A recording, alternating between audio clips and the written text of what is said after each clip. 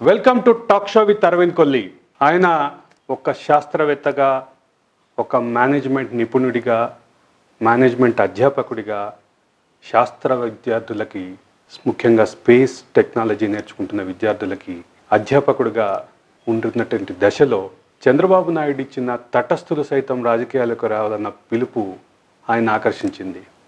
తటస్థుడిగా శాస్త్రవేత్తగా ఉండి రాజకీయాల్లోకి వచ్చి ప్రతి దశలోనూ తెలుగుదేశం పార్టీ విధానాల్ని తెలుగు తెరలపై తెలుగు టీవీ తెరలపై ముందుండి సపోర్ట్ చేసి ముందుండి మద్దతు పలికిన చందు సాంబశివరావు గారు.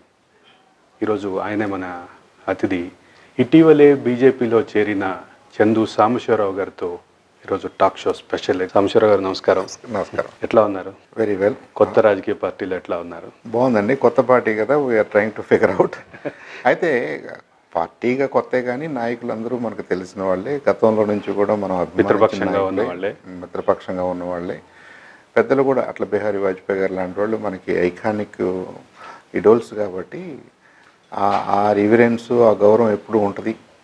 ఒక రకంగా నా మనసుకు నచ్చిన పెద్ద ఎన్వైరన్మెంట్లోకి వెళ్ళాననే భావన నాకుంది ఇప్పుడు. అదే సందర్భంలో తెలుగుదేశం పార్టీ అంటే గుర్తొచ్చే అతి కొద్ది మంది అధికార ప్రతినిధుల్లో ముఖ్యంగా టీవీల్లో మద్దతు తెలిపే వారిలో తెలుగుదేశం పార్టీ వాదనని గట్టిగా వినిపించే వారిలో మీరు ఒకరు. ఇంత సుదీర్ఘ అనుబంధం తర్వాత తెలుగుదేశం పార్టీని వదిలిపెట్టడానికి బాధ అనిపించలేదా? బాధ అని కాదు it was a logical decision నేను కింద నుంచి పైకి రాలేదు. బాబు గారి ప్రోత్సాహంతో బాబుగారి ఎంకరేజ్మెంట్ తోటి బాబుగారితోటే పనిచేయడానికి డే వన్ నుంచి అలవాటయ్యాను కాబట్టి చంద్రబాబు నాయుడు గారుతో ప్రయాణం చేయటం చంద్రబాబు నాయుడు గారితో డిస్కస్ చేయటం పాలసీస్ విషయంలో పార్టిసిపేట్ చేయటం ఆ విషయాల్ని మళ్ళీ ప్రజల దగ్గరకు తీసుకురావడం మీడియా ద్వారా ప్రజలకు చేరేయటం ఆ లేయర్లో పనిచేశాను నేను. అట్ ద సేమ్ టైం నేను కంటెస్ట్ చేశాను ఎమ్మెల్యేగా కాబట్టి దుగ్గిరాల నియోజకవర్గం. మా గుంటూరు జిల్లా. అది అక్కడ కూడా విస్తృతంగా పనిచేశాం. ఒక పార్టీ సీనియర్ నాయకుడిగా మాకేంటంటే కొన్ని కొన్ని నియోజకవర్గాలకు అబ్జర్వర్స్ అని పంపిస్తారు. అలా చాలా నియోజకవర్గాలకు వెళ్ళాను. మన రాష్ట్రంలో చాలా ప్రాంతాలు విశాఖపట్నం చేశాను తిరుపతి పార్లమెంట్ చేశాను అక్రాస్ ద స్టేట్ చాలా ప్లేసెస్కి వెళ్ళాను. ఇంత జరిగినప్పుడు కూడా నాకు తెలుగుదేశం పార్టీ కార్యకర్తల మీద కానీ తెలుగుదేశం పార్టీలో ఉన్న నాయకుల మీద కానీ ఎవరితో ఎప్పుడు ఎలాంటి ఇబ్బంది జరగలేదు. It's like a large team I always enjoyed working with them I enjoyed working with Babu garu also అయితే పదిహేను సంవత్సరాల తర్వాత కూడా నేను వచ్చిన రోజున నా స్టేటస్ ఏంటో నేను ఇవాళ కూడా అదే స్టేటస్లో ఉన్నాను. ఆయన నాకు పొలిటికల్గా ఆపర్చునిటీ ఇవ్వలేకపోయాడు. సరే నాకు ఇవ్వలేకపోవటం అనేది ఒక అంశం అయితే ఆయన ఇస్తున్నది ఆయన సెలక్షన్స్ మీద కూడా రాను రాను డౌట్స్ ఎక్కువైపోతున్నాయి. అందరికీ డౌట్స్ వస్తున్నాయి నాకు డౌట్స్ వచ్చినాయి. A true leader is one who knows right పర్సన్ని రైట్ జాబ్కి రైట్ టైంలో పెట్టగలగాలి. అప్రోప్రియేట్ పర్సన్ అప్రోప్రియేట్ టైం ఇంత ఎడ్యుకేషనల్ బ్యాక్గ్రౌండ్ ఇంత ఎక్స్పీరియన్స్ ప్రపంచంలో అనేక మందితో పనిచేసినటువంటి చందు సాంబశివరావు రైట్ పర్సన్ అనిపించలేదా? ఈ రైట్ పర్సన్కి తగిన వర్క్ మన గవర్నమెంట్లో ఏమీ కనపడలేదా? లేదు ఈ రెండు కనపడినా టైమింగ్ కుదరలేదా? టైమింగ్ కుదరలేదు అనుకుంటే పదిహేను సంవత్సరాల్లో కుదరలేదా? ఇదంతా యాజ్ డేస్ గో బై మనకేమవుతుందంటే అసలు బాబు గారు ఈ యాంగిల్లో ఆలోచిస్తున్నాడా ఇంకేమైనా ఆలోచిస్తున్నాడా అనే అనుమానం రాక తప్పదు. I think after fifteen years good enough time long enough time long enough commitment to the party and to the people. To our leader ఇక అది కాదు ఇది కరెక్ట్ కాదు. ఇక నేను కూడా ఇంతకంటే సమర్థించుకోవటం కూడా ఇంట్లో కానీ ఫ్రెండ్స్ దగ్గర కానీ నా కొలీగ్స్ దగ్గర కానీ people at large they are not supporting my logic anymore. మీరు పొరపాటు పడుతున్నారండి ఆయన మీకేమీ చెయ్యడు. అనే పాయింట్ పదిహేను సంవత్సరాల క్రితం నాకు ఒక రకంగా వినిపిస్తే రెండు వేల తొమ్మిదిలో ఒక రకంగా వినిపిస్తే రెండు వేల పద్నాలుగులో ఒక రకంగా వినిపిస్తే రెండు వేల పంతొమ్మిదిలో నిజమేమేనేమో? I think they are right ఇప్పుడు ఇక నేను ఇంతకంటే మూర్ఖంగా ఇడియాటిక్గా ఈయనతో ప్రయాణం చేసినా నాకు పొలిటికల్గా ఏమీ మంచి జరగదు. అనే ఒకే ఒక్క ఆ- బాధ అయితే ఉంది. సాంబశివరావు గారు ఒక సూటి ప్రశ్న. చంద్రబాబు నాయుడు కార్యకర్తల్ని నాయకులని కరివేపాకులాగా వాడుకొని వదిలేస్తారు అనే వాదంతో మీరు ఏకీభవిస్తారా? ఇప్పుడు నేనే ఒక ఎగ్జాంపుల్ అయ్యాను కదా. నా తదుపరి ప్రశ్న. ఇప్పుడు నేను నేనే ఒక ఎగ్జాంపుల్ అయ్యాను కాబట్టి అని అందరూ అంటున్నారు కాబట్టి ఫైనల్గా నేను ఒక ఎగ్జాంపుల్ లాగానే కనిపిస్తున్నాను కాబట్టి yes I think that's true to to large extent to a large extent ఇది అనేక సందర్భాల్లో డిస్కషన్కి వస్తుంది. మీరు యూ షుడ్ క్యారీ పీపుల్ ఇప్పుడు పీపుల్ అంటే మీరు స్విచ్లో అప్పుడు ఆన్ ఆఫ్ కాదు కదండి. ఆ లైట్ మీరు అవసరం ఉన్నప్పుడు ఆన్ చేసుకోవడం లేదంటే ఆఫ్ చేసుకోవడం కాదు. It's a life long relationship పదవులు ఉండొచ్చు లేకపోవచ్చు. బట్ మా నాయకుడు నన్ను గుర్తిస్తున్నాడు నాకు ఏదో పని చెప్తున్నాడు నాకు రెస్పాన్సిబిలిటీ ఇచ్చాడు నాకు ప్రజల్లో గౌరవం వస్తుంది. ఆ గౌరవం వయసు పెరిగే కొద్దీ పెరగాలే కానీ తగ్గకూడదు కదా. ఇప్పుడు బాబు గారు ఏం చేస్తున్నారంటే మీకు ఒక అవకాశం ఇస్తారు ఐదు సంవత్సరాల తర్వాత మళ్ళీ యు ఆర్ ఇర్రెలివెంట్ అన్నట్టుగా వదిలేస్తారు. మీకు పని అప్పు చెప్తారు ఆ పని పూర్తి అయిపోయిన తర్వాత ఇక మళ్ళీ పట్టించుకోరు. ఇలా there are number of cases వాళ్ళందరికీ నా నాకున్నంత ఓర్పు కానీ సహనం కానీ అవకాశం కానీ ఉండకపోవచ్చు. మరొక ప్రశ్న. చంద్రబాబు నాయుడిని ప్రతిపక్షంలో చూశారు. ఐదేళ్ళ అధికారంలో చూశారు చాలా దగ్గరగా. ఎస్ ఈ రెండిట్లో ఎక్కడ ఆయన సమర్థత కరెక్ట్గా ఉపయోగపడిందని భావిస్తున్నారు మీరు? అదే అపోజిషన్లోనే ఆయన పెర్ఫార్మెన్స్ బాగుంటుందేమో. యాజ్ అన్ అపోజిషన్ లీడర్ ఎందుకంటే ఆయన చాలా అలర్ట్గా ఉంటాడు. అందరితో మాట్లాడుతుంటాడు. ప్రతి అవకాశాన్ని వాడుకుంటాడు. ప్రతి అవకాశాన్ని వాడుకుంటాడు. కంట్రీలో కూడా మంచి నెట్వర్క్ మీద పనిచేస్తాడు ఆయన. నాకు ఆయన అధికారంలో ఉంటూ రెండు వేల పద్నాలుగు తర్వాత తెలుసు. నేను కంటెస్ట్ చేసింది రెండు వేల నాలుగులో. అప్పటి వరకు నేను ఎన్ఆర్ఐగా యుఎస్లో ఉన్నాను. రెండు వేల నాలుగులో ఓడిపోయాం. రెండు వేల తొమ్మిదిలో ఓడిపోయాం. కాబట్టి ఆ పది సంవత్సరాలు కూడా అపోజిషన్లో ఉన్నట్టే కదా. ఆయన ఆయన అదర్ సైడ్ నాకు తెలియదు రెండు వేల పద్నాలుగులో ఎంతో కష్టపడి చివరికి మనం సాధించాం మనం గెలిచాం మన పార్టీ గెలిచింది అని చెప్పేసి నాలాంటి వాళ్ళు థౌజండ్స్ ఆఫ్ పీపుల్ ఎదురు చూస్తున్న టైంలో ఆయన ఏం చేసాడు సింపుల్గా వీళ్ళందరినీ కట్ చేశాడు. ఇంకా ఆయన వీళ్ళ ఇంకా చూడటం మర్చిపోయాడు వీళ్ళతో మాట్లాడటం మర్చిపోయాడు. ఆయనకి ఏదైనా అవసరం వస్తేనే తప్పితే అసలు ఒక పార్టీ ఉంది దీంట్లో లక్షలాది మంది కార్యకర్తలు ఉన్నారన్న విషయం సభ్యులు ఉన్నారన్న విషయం ఆయన మర్చిపోయాడు.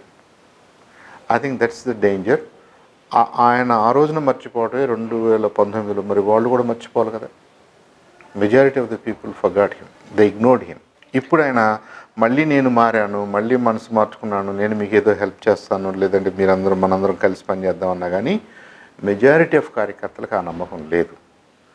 Now coming back to the question original question who is a leader కష్టమైన సుఖమైన మంచైనా చెడైనా మాట మీద నిలబడేవాడే లీడర్ ఆ మాట ఏమైనా కావచ్చు.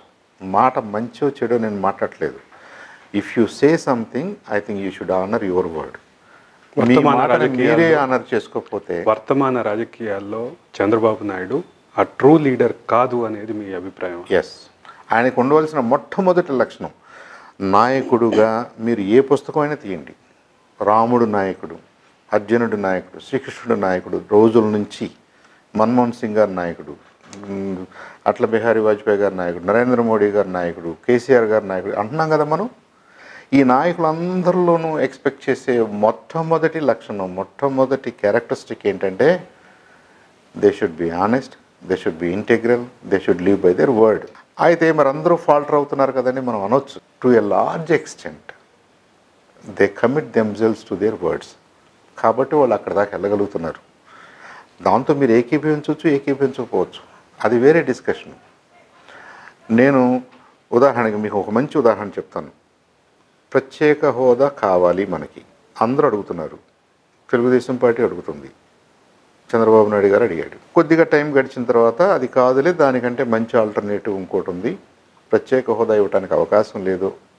కాబట్టి ప్రత్యేక ప్యాకేజ్ అనేది ఒక ప్రపోజల్ వచ్చింది. ఎస్ దానికి reasonable persons if you can convince me I should agree కదా. బాబు గారు ఒప్పుకున్నారు. ఈ ప్రాసెస్లో ఆయన ఏం చేశాడు? ప్రత్యేక ప్యాకేజ్ ఈజ్ బెటర్ దాన్ ప్రత్యేక హోదా అనే ఆర్గ్యుమెంట్లోకి వచ్చాడు. మళ్ళీ ఇంకొద్దిగా కాలం గడిచింది. మళ్ళీ ఇప్పుడు ప్రత్యేక ప్యాకేజ్ కాదు. ప్రత్యేక హోదానే కావాలి. దట్ ఈస్ బెటర్ అంటున్నారు. ఇప్పుడు ఇంకో నాలుగు నెలలు గడిచిన తర్వాత మీరేమంటారు? ప్రత్యేక ప్యాకేజ్ బెటర్ అంటారా? చూసారా? ఇలాంటి ఈ ఫ్లిప్ ఫ్లాప్ అంటారు దీన్ని. మీరు ఎటు పక్కన ఉంటారో టైం గడిస్తే ఎటు పక్క వస్తారో తెలియదు కాబట్టి నమ్మరు. ఆ- నమ్మకపోవటమే మీరు మీరు you are not integral you are not honest you are not true అంటే మిమ్మల్ని నేను నమ్మటం కష్టంగా ఉంది అని ప్రజలు చెప్తున్నారు. నేను ఒక్కడే కాదు ఐదు కోట్ల మంది బాబు గారిని నమ్మటం కష్టం అనుకుంటున్నారు. నమ్మ నమ్మటానికే కష్టంగా ఉంటే మీరు ఎలాంటి నాయకుడు ఇప్పుడు బాబు గారు ఆలోచించుకోవాలి? పదేళ్ళ పాటు ప్రతిపక్షంలో ఉన్నప్పుడు ప్రతిపక్షానికి అందినటువంటి అస్త్రాలు ముఖ్యంగా ప్రతిపక్షం వాడిన అస్త్రాలన్నిటి రూపకల్పనలో మీరున్నారంటారు. ఆ థింక్ ట్యాంక్లో మీరున్నారంటారు. To a large extent yes yeah కానీ ఐదేళ్ళకు వచ్చేసరికి ఐదేళ్ళ పదవీ కాలంకి వచ్చేసరికి ఎక్కడ ప్రభుత్వ నిర్ణయాల్లో కానీ ఎక్కడ ప్రభుత్వ పాలనా వ్యవహారాల్లో కానీ మీ పాత్ర కనిపించలేదు. అవకాశం లేదు. ఇవ్వలేదు. రానివ్వలేదు. కనీసం అపాయింట్మెంట్ ఇవ్వలేదు. ఆయన ఎంత జాగ్రత్త పడ్డాడంటే పార్టీ పరమైన పనులు మీడియా పరమైన పనులు మనం ఈ డెసిషన్ని మీడియాకి చెప్పడానికైతే చంద్రస్వామిశ్రావు గారు కావాలి. ఒక వారం రోజులు నేను ఏదైనా పని నుండి ఏదైనా టీవీలకు వెళ్ళలేని పరిస్థితిలో మా నాలెడ్జ్ సెంటర్ నుంచి డెఫినెట్గా కాల్ వచ్చేది. పదిహేను రోజులకు ఒకసారి చంద్రబాబు నాయుడు గారు అధ్యక్షులు వారు రివ్యూ చేస్తున్నారు. మీరు రాలేదు మీరు తక్కువ వెళ్ళారు మీరు ఎక్కువ వెళ్ళారని చెప్పేసి ఆ ఫీడ్బ్యాక్ వచ్చేది. మిమ్మల్ని అడుగుతున్నారు సార్ రేపటి నుంచి మీరు గట్టిగా వెళ్ళాలని వచ్చేది. మరి ఇదే మనిషి ప్రభుత్వంలో కూడా మనకు వంద పైగా కార్పొరేషన్లు ఉన్నాయి. ఎమ్మెల్యే సీట్ ఇవ్వలేకపోయాం వంద పైగా కార్పొరేషన్లు ఉన్నాయి కమిటీలు ఉన్నాయి. మనం కొత్త కొత్తగా ఎలక్ట్రానిక్ ఎకనామిక్ డెవలప్మెంట్ బోర్డు అన్నాము ఇంకొక బోర్డు ఇంకొక బోర్డు ఇన్ని రకాలు క్రియేట్ చేసాం. చందు సాంసరావు ఎందుకు గుర్తు రాలేదు ఇట్స్ ఎ మిస్టరీ నేను నేను యాక్చువల్గా నాకు నాకు ఛాన్స్ మిస్ అయిందనే దానికంటే కూడా ఆయన మనో ఆయన్ని విశ్లేషించటంలో it's a very interesting point అని నేను అనుకుంటున్నాను. ఒక సూటి ప్రశ్న సాంబశివరావు గారు. మీకు పదవి రాకపోవటానికి మీరు పాలనలో భాగస్వామి కాకపోవడానికి మీ సామాజిక వర్గం ఏమైనా కారణం అని భావిస్తున్నారా? యాజ్ అన్ ఇండివిజువల్ నేను పార్టీలోకి వచ్చినప్పుడు నాకు అవగాహన లేదు. ఆనెస్ట్గా చెప్తున్నాను. నేను చదువుకున్నప్పటి నుంచి ఇప్పటి వరకు కూడా నాకున్న ఫ్రెండ్స్ కానివ్వండి నా పరిచయాలు కానివ్వండి కాపులు కంటే మిగతా వాళ్ళతోటే ఎక్కువ. అలాంటి ప్లేస్లోనే చదువుకున్నాను వాళ్ళతోటే ఉన్నాను వాళ్ళు వాళ్ళకి నాతోటే ఉన్నారు. నా ఫ్రెండ్స్ కూడా వాళ్ళే. కాబట్టి నాకు ఆ డౌట్ ఎప్పుడు రాలేదు. దగ్గరకు వచ్చినట్టుగా వచ్చే అవకాశం ఇది రావటం లేదు అన్న ప్రతి సందర్భంలోనూ ఈ డిస్కషన్ వచ్చేది. చాలాసార్లు టీవీలు డిస్కషన్స్లోనే అడిగారు నన్ను ఇది కారణం అయ్యి ఉంటుందని నేను కాదని కొట్టేశాను. కాదు ఈ ట్రైంగ్ టు అకామిడేట్ నా టర్న్ కూడా రావచ్చు. ఇప్పుడు కొద్దిగా ఒక అతను గొడవ చేసేవాడు ఉంటాడు తొందరగా అకామిడేట్ చేయాలి. చంద్ర సంవత్సరాలు చెప్తే అర్థం అవుద్ది ఇప్పుడు కాదమ్మా మళ్ళీ చూద్దామంటే నేను నేనేం ఫైట్ చేయను. I'm very logical very reasonable అదే నాకు డిసడ్వాంటేజ్ కూడా అయ్యి ఉండొచ్చు but still I'm okay with that అంటూ వచ్చేవాడిని. పదిహేను సంవత్సరాల తర్వాత మీరు మీ డిస్పోజల్లో ఉన్నాయి మీ దగ్గర ఉన్నాయి మీరు చేయగలిగినవి మీరు జస్ట్ ఒక మాట అంటే సరిపోయేది. ఎన్నో అవకాశాలు వచ్చినాయి. ఏది నా ఎడ్యుకేషన్కి నా ఎక్స్పీరియన్స్కి నేను చేయాలనుకుంటున్న దానికి సరిపోయే పనులు చాలా ఉన్నాయి. మీరు మినిస్ట్రీ ఆఫ్ ఎడ్యుకేషన్లో అడ్వైజర్స్ పోస్ట్ అన్నారు. కమ్యూనికేషన్స్లో అడ్వైజర్ పోస్ట్ అన్నారు. ఇంకో మినిస్ట్రీలో అడ్వైజర్ పోస్టులు అన్నారు. నా బయోడేటా చదివారా అసలు ఎప్పుడైనా? నేను మీకు చాలాసార్లు ఇచ్చాను. చాలాసార్లు మీరు ఫేస్ టు ఫేస్ మనం మాట్లాడుకున్నాం. ఒకే ఫ్లైమ్ కలిసి ప్రయాణం చేసాం. కలిసి హోటల్లో ఉన్నాం. నేను ఎన్నోసార్లు ఎన్నో విషయాలు చెప్పాను కదా మీరు నన్ను ఎన్నో విషయాలు అడిగారు కదా. మీకు చందు సాంబశివరావు డెప్త్ అర్థం కాలేదా? చందు సాంబశివరావు డెప్త్ సరిపోలేదా? ఇవన్నీ ఆలోచిస్తే న్యాచురల్గా there is something more than this అనేది ఒక డౌట్ వస్తుంది. అది వెరీ అన్ఫార్చునేట్ ఒకవేళ చందు సాంబశివరావు పలానా కులం కాబట్టి కాపు కాబట్టి ఆయనకు ఇప్పుడు ఇవ్వాల్సిన అవసరం లేదు. ఇస్తే మనకు తలకాయ నొప్పో అడ్వాంటేజ్ నాట్ అడ్వాంటేజ్ అని అలాంటి క్యాల్కులేషన్ కనుక ఆయన వేసుకుని ఉంటే అలాంటి నాయకుడు మన రాష్ట్రానికి కానీ మన దేశానికి కానీ అవసరం లేదనేది నా నా అభిప్రాయం. ఆ టైం అయిపోయింది. We have to move on ఇది ఫ్యూడల్ సిస్టమ్ కాదు. వెరీ మెచ్యూర్డ్ డెమోక్రటిక్ సిస్టంలోకి వస్తున్నాం మనం. ఇంకొక ప్రశ్న. చందు సాంబశివరావుకి ఇవ్వకుండా లోకేష్ తెలుగు శిక్షకుడికి ఒక రాజ్యాంగబద్ధమైన పదవి ఇచ్చారు అని ఒక విమర్శ ఉంది. దీన్ని ఎట్లా చూడమంటారు? ఆయన is a fine arts professor. దాంట్లో ఏదైనా అడ్వాంటేజ్ ఉండొచ్చేమో ఎవరైనా సలహా ఇచ్చి ఉండొచ్చేమో తెలుగు మాట్లాడటం కానీ తెలుగు డిక్షన్ కానీ లేదంటే ఇంకేదైనా బాడీ లాంగ్వేజ్ కానీ ఉపయోగపడుతుందని అనుకుని ఉండొచ్చు దట్స్ ఓకే చాలా it's it's a large field మనం నేను ఒక్కడిని చేయాల్సిందేం లేదు. మనందరం కలిసి చేయాల్సిన పనులే. ఆయనకి ఎవరు ట్రైన్ చేసినా కానీ I have no problem but that should be limited to that మీరు మళ్ళీ వాళ్ళని ఇంకొక రోల్లో పెట్టి వాళ్ళు ఇంకొక రోల్లో పెట్టి ఇంకొక రోల్లో పెడితే మిగతా వాళ్ళకి చాలా ఇబ్బంది అవుద్ది. మనం ఏ రోల్లో ఉండాలో రోల్స్ అండ్ రెస్పాన్సిబిలిటీస్ క్లియర్గా ఉండాలి. చందు సంవత్సరాన్ని ఎందుకు తీసుకొచ్చాం? పాలిటిక్స్లో కావాలని తీసుకొచ్చాం. దుగ్గిరాల్లో కంటెస్ట్ చేయడానికి తీసుకొచ్చాం. దుగ్గిరాల్లో కంటెస్ట్ చేసిన అతను పొలిటీషియన్గానే ఇవాల్వ్ అవ్వాలి. నేను కాసేపు పొలిటీషియన్గాను కాసేపు సైంటిస్ట్ గాను నేను I can I cannot go back and forth నేను ఇప్పుడు వెళ్తే నాసాలో నాకు జాబ్ ఎవరు? నేను అది కాదనుకుని ఇటు వచ్చేసిన తర్వాత I want to be politician అని ఇక్కడ నేను పనిచేస్తున్నప్పుడు మీరు నన్ను రెండు సంవత్సరాలకు ఒకసారి మార్చలేరు కదా? You cannot alter me you cannot put me in different fields నా ఎక్స్పీరియన్స్ తోటి నాకు ఇంట్రెస్ట్ ఉన్న దాంట్లో నేను ఏం చేయాలనుకుంటున్నానో మీరు నాకు అవకాశం ఇస్తే సంతోషం. నాకు ఉపయోగపడుద్ది సిస్టమ్కి ఉపయోగపడుద్ది రాష్ట్రానికి ఉపయోగ పార్టీకి కూడా ఉపయోగం ఉపయోగం. అందుకే ఇందాక నేను అంతే right person for the right job at the right time మీరు నాకు డెబ్బై ఏళ్ళు వచ్చేసిన తర్వాత మీరు ఇప్పుడు వెళ్ళి ఈ పని చేయండి అన్నారు అనుకుంటే timing is not right for me నేను నలభై ఏళ్ళలో చేయగలిగింది నేను సెవెంటీ ఇయర్స్లో చేయలేను. లేదు మన రాష్ట్రంలో నైన్టీన్ లేదా టూ థౌజండ్ టెన్లో జరగాల్సింది టూ థౌజండ్ ఫోర్టీన్లో జరగాల్సింది టూ థౌజండ్ ఫిఫ్టీలో మీరు చేయలేరు. అప్పటికి కాంటెక్స్ట్ మూవ్ అయిపోద్ది. సో రైట్ పర్సన్ ఎవరు? మనకున్న పని ఏంటి? ఇప్పుడు అది ఇస్తే బాగుంటుందా బాగుంటుందా ఇంతకంటే ఏ లీడర్ ఎక్కువ చేయాల్సింది లేదండి. Leader is not suppose to crack his brain ఏదో ఏదో చేయాల్సిన అవసరం లేదు. మీరు తాపీగా కూర్చుని. మీరు ఏం చేశారు ఇవాళ ఈ షోకి? మీరు ఎంత క్లీన్గా ప్లాన్ చేశారు? సాంసరా గారు వస్తున్నాడు నేను మాట్లాడాలి రెండు కుర్చీలు కావాలి రెండు కెమెరాలు కావాలి ఇంకొకళ్ళు కావాలి ఒక ఐదుగురిని టీంని సెట్ చేసుకుని కూర్చున్నారు. వీళ్ళలో ఏ ఒక్కళ్ళు లేకపోయినా కానీ వీళ్ళు ఫెయిల్ కదా? ఈ ఈ ప్రాసెస్ ఫెయిల్ అవుతుంది కదా? మీరు ఆయన అక్కడే కూర్చోమన్నారు ఈయన ఇక్కడే కూర్చోమన్నారు డైరెక్షన్ ఇచ్చారు కదా? సో యు నో వై అలాగే చంద్రబాబు నాయుడు గారి దగ్గర ఉన్న వెయ్యి మంది రెండు వేల మందిని రోజుకు పది మంది రోజుకి ఇరవై మంది రోజుకి యాభై మంది చొప్పున he has to figure out he has to place them అలా చేయకుండా ర్యాండమ్గా ఎవరికో తెలిసిన వాళ్ళు ఎవరికో చుట్టాలు వాళ్ళ బంధువులు ఆయన ఏదో అమెరికా ఈయన ఏదో ఆ ఇంగ్లాండ్ అనుకుంటే మీరు చేశారనుకోండి I think system will be affected very badly ఇప్పుడు అది ఆ డోస్ ఎక్కువైందని అనిపిస్తుంది. ఇంకొక ప్రధానమైన విమర్శ చంద్రబాబు మీద వచ్చింది. చంద్రబాబుకి తన కులాన్ని ఉద్ధరించే క్రమంలోనే చంద్రశామేశ్వరరావుని దూరం పెట్టారని. నిజమేనా? ఐ డోంట్ నో నిజంగా ఉద్ధరించాడా? కమ్మాస్ని ఉద్ధరించాడా ఆయన? ఐ డౌట్ ఇట్ అది కాదు. అది అది మీరు చెప్పాలి. అది కొంతమంది కమ్మాస్కి అలా అంటే బాగుంటుందని అనుకుంటున్నారు లేదంటే అలా అంటే బాగుంటుంది అనేది అది పబ్లిక్ కన్సంప్షన్కి బాగుంటుందని బాబు గారు అలాంటి మాటలు ఏమైనా అంటున్నారో లేదా బాబు గారి తరఫున ఎవరైనా అంటున్నారేమో కానీ it's it's a large party Telugu Desam పార్టీలో అన్ని కులాలు ఉన్నారు. అన్ని మతాలు ఉన్నారు. He's answerable to everybody first of all. అది కాకుండా ఆయన ఏది చేసినా తప్పే. అట్లా చేశారని మీరు అనుభవిస్తున్నారా? Chandrababu out of the way తన కులానికి ఉద్ధరించారు అని మీరు అను ఫీల్ అవుతున్నారా? అంటే మిగతా వాళ్ళకైతే సఫిషియెంట్గా చేయలేదని తెలుస్తుంది.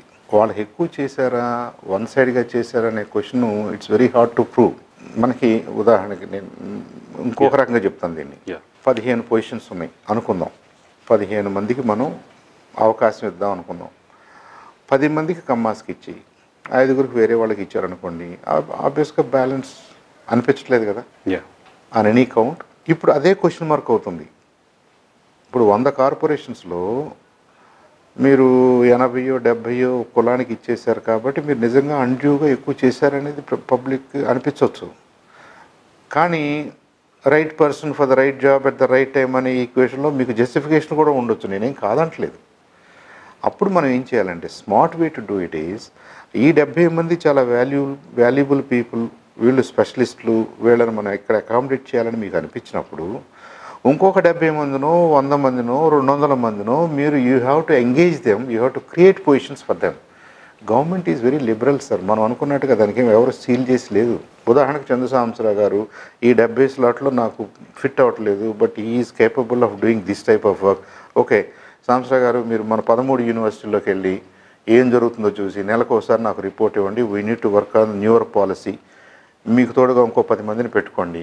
It's called evolution of higher education అనొచ్చా?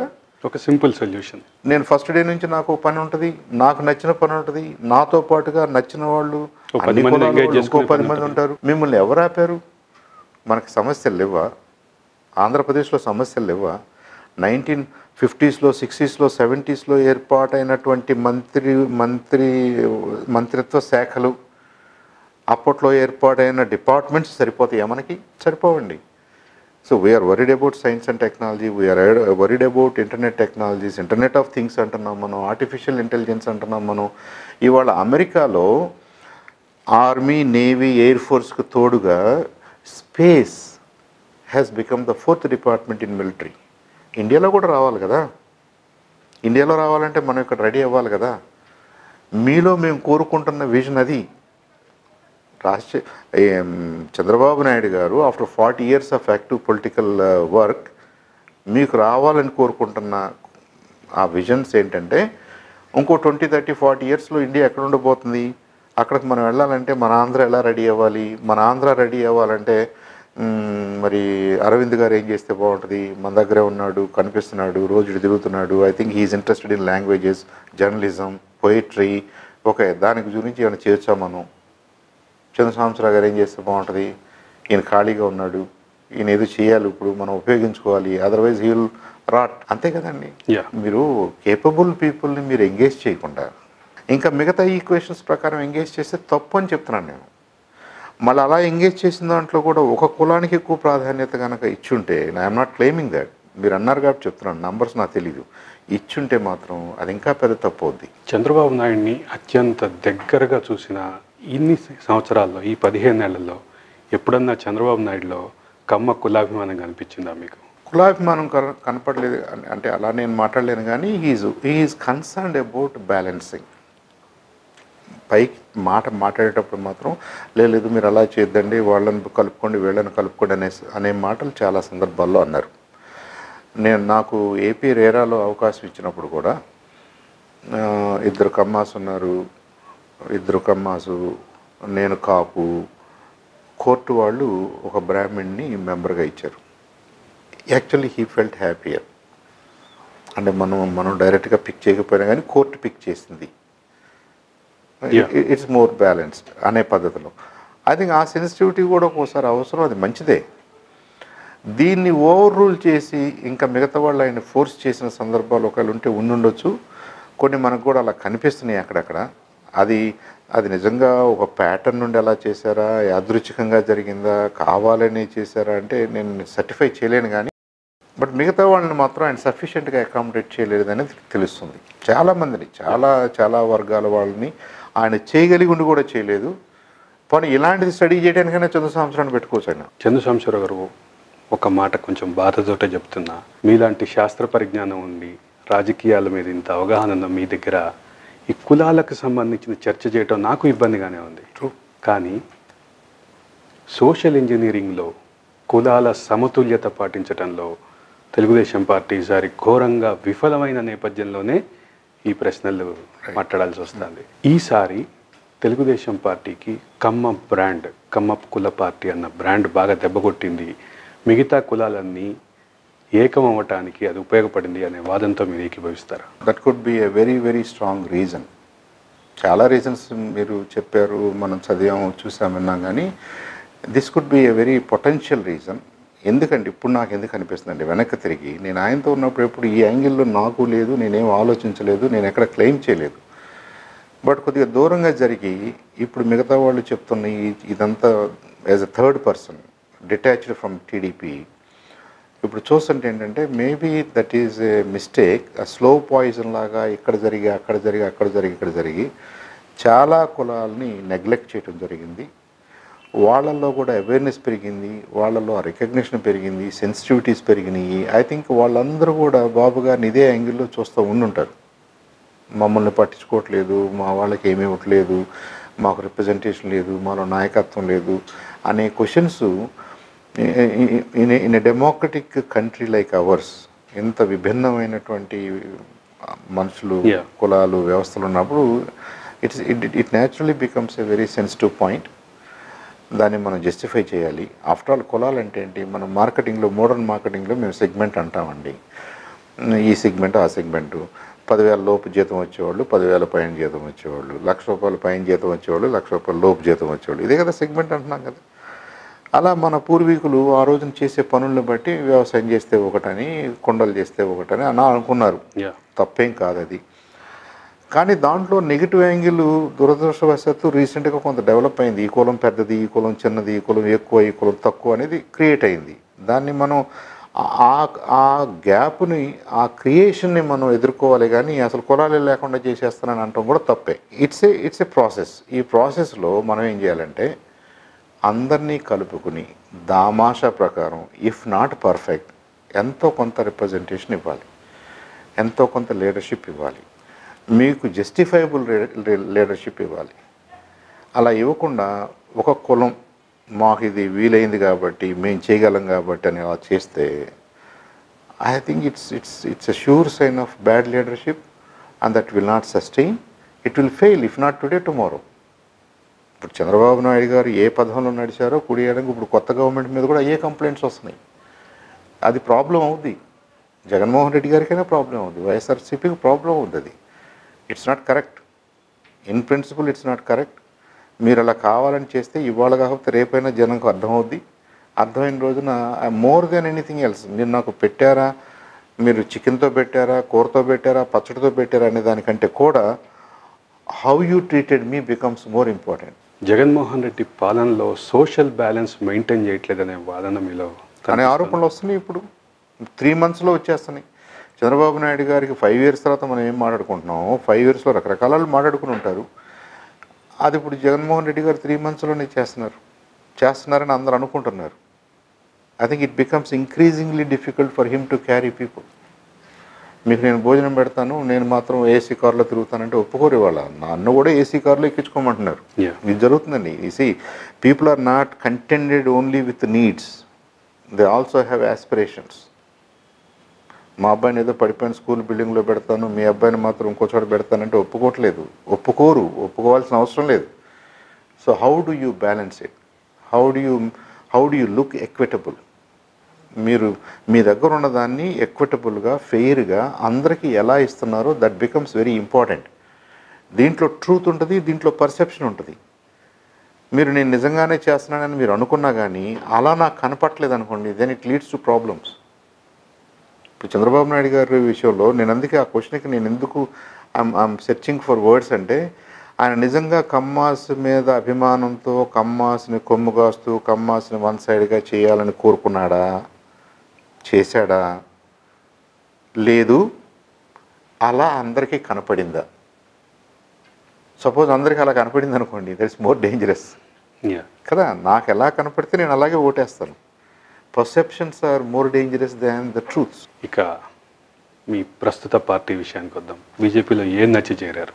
సార్ నేను రెండు వేల నాలుగులో కంటెస్ట్ చేసినప్పుడు అప్పుడు ఫ్రెష్గా ఓడిపోయిన జత బీజేపీ టీడీపీ. మేము ఓడిపోయిన తర్వాత ఇరవై ఆరో తారీఖున అంటే మహానాడికి రెండు రోజుల ముందు ఎన్టీఆర్ భవన్లో మీటింగ్ జరిగితే I I got a chance to speak for five minutes five కాదు టెన్ మినిట్స్ ఇచ్చారు ఆ రోజున బాబు గారు అశోక్ రా గజపతి రాజు గారు. నాకు బాగా గుర్తుంది.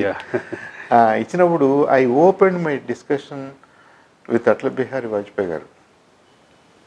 దెన్ ఎన్టీ రామారావు గారు. తర్వాతే చంద్రబాబు నాయుడు గారి గురించి మాట్లాడాను నేను. తర్వాత డాక్టర్ కోడెల శివప్రసాద్ గారు కూడా దాని మీద జోక్ వేసాడు నువ్వు నువ్వు జాగ్రత్తగా మాట్లాడాలన్నట్టుగా.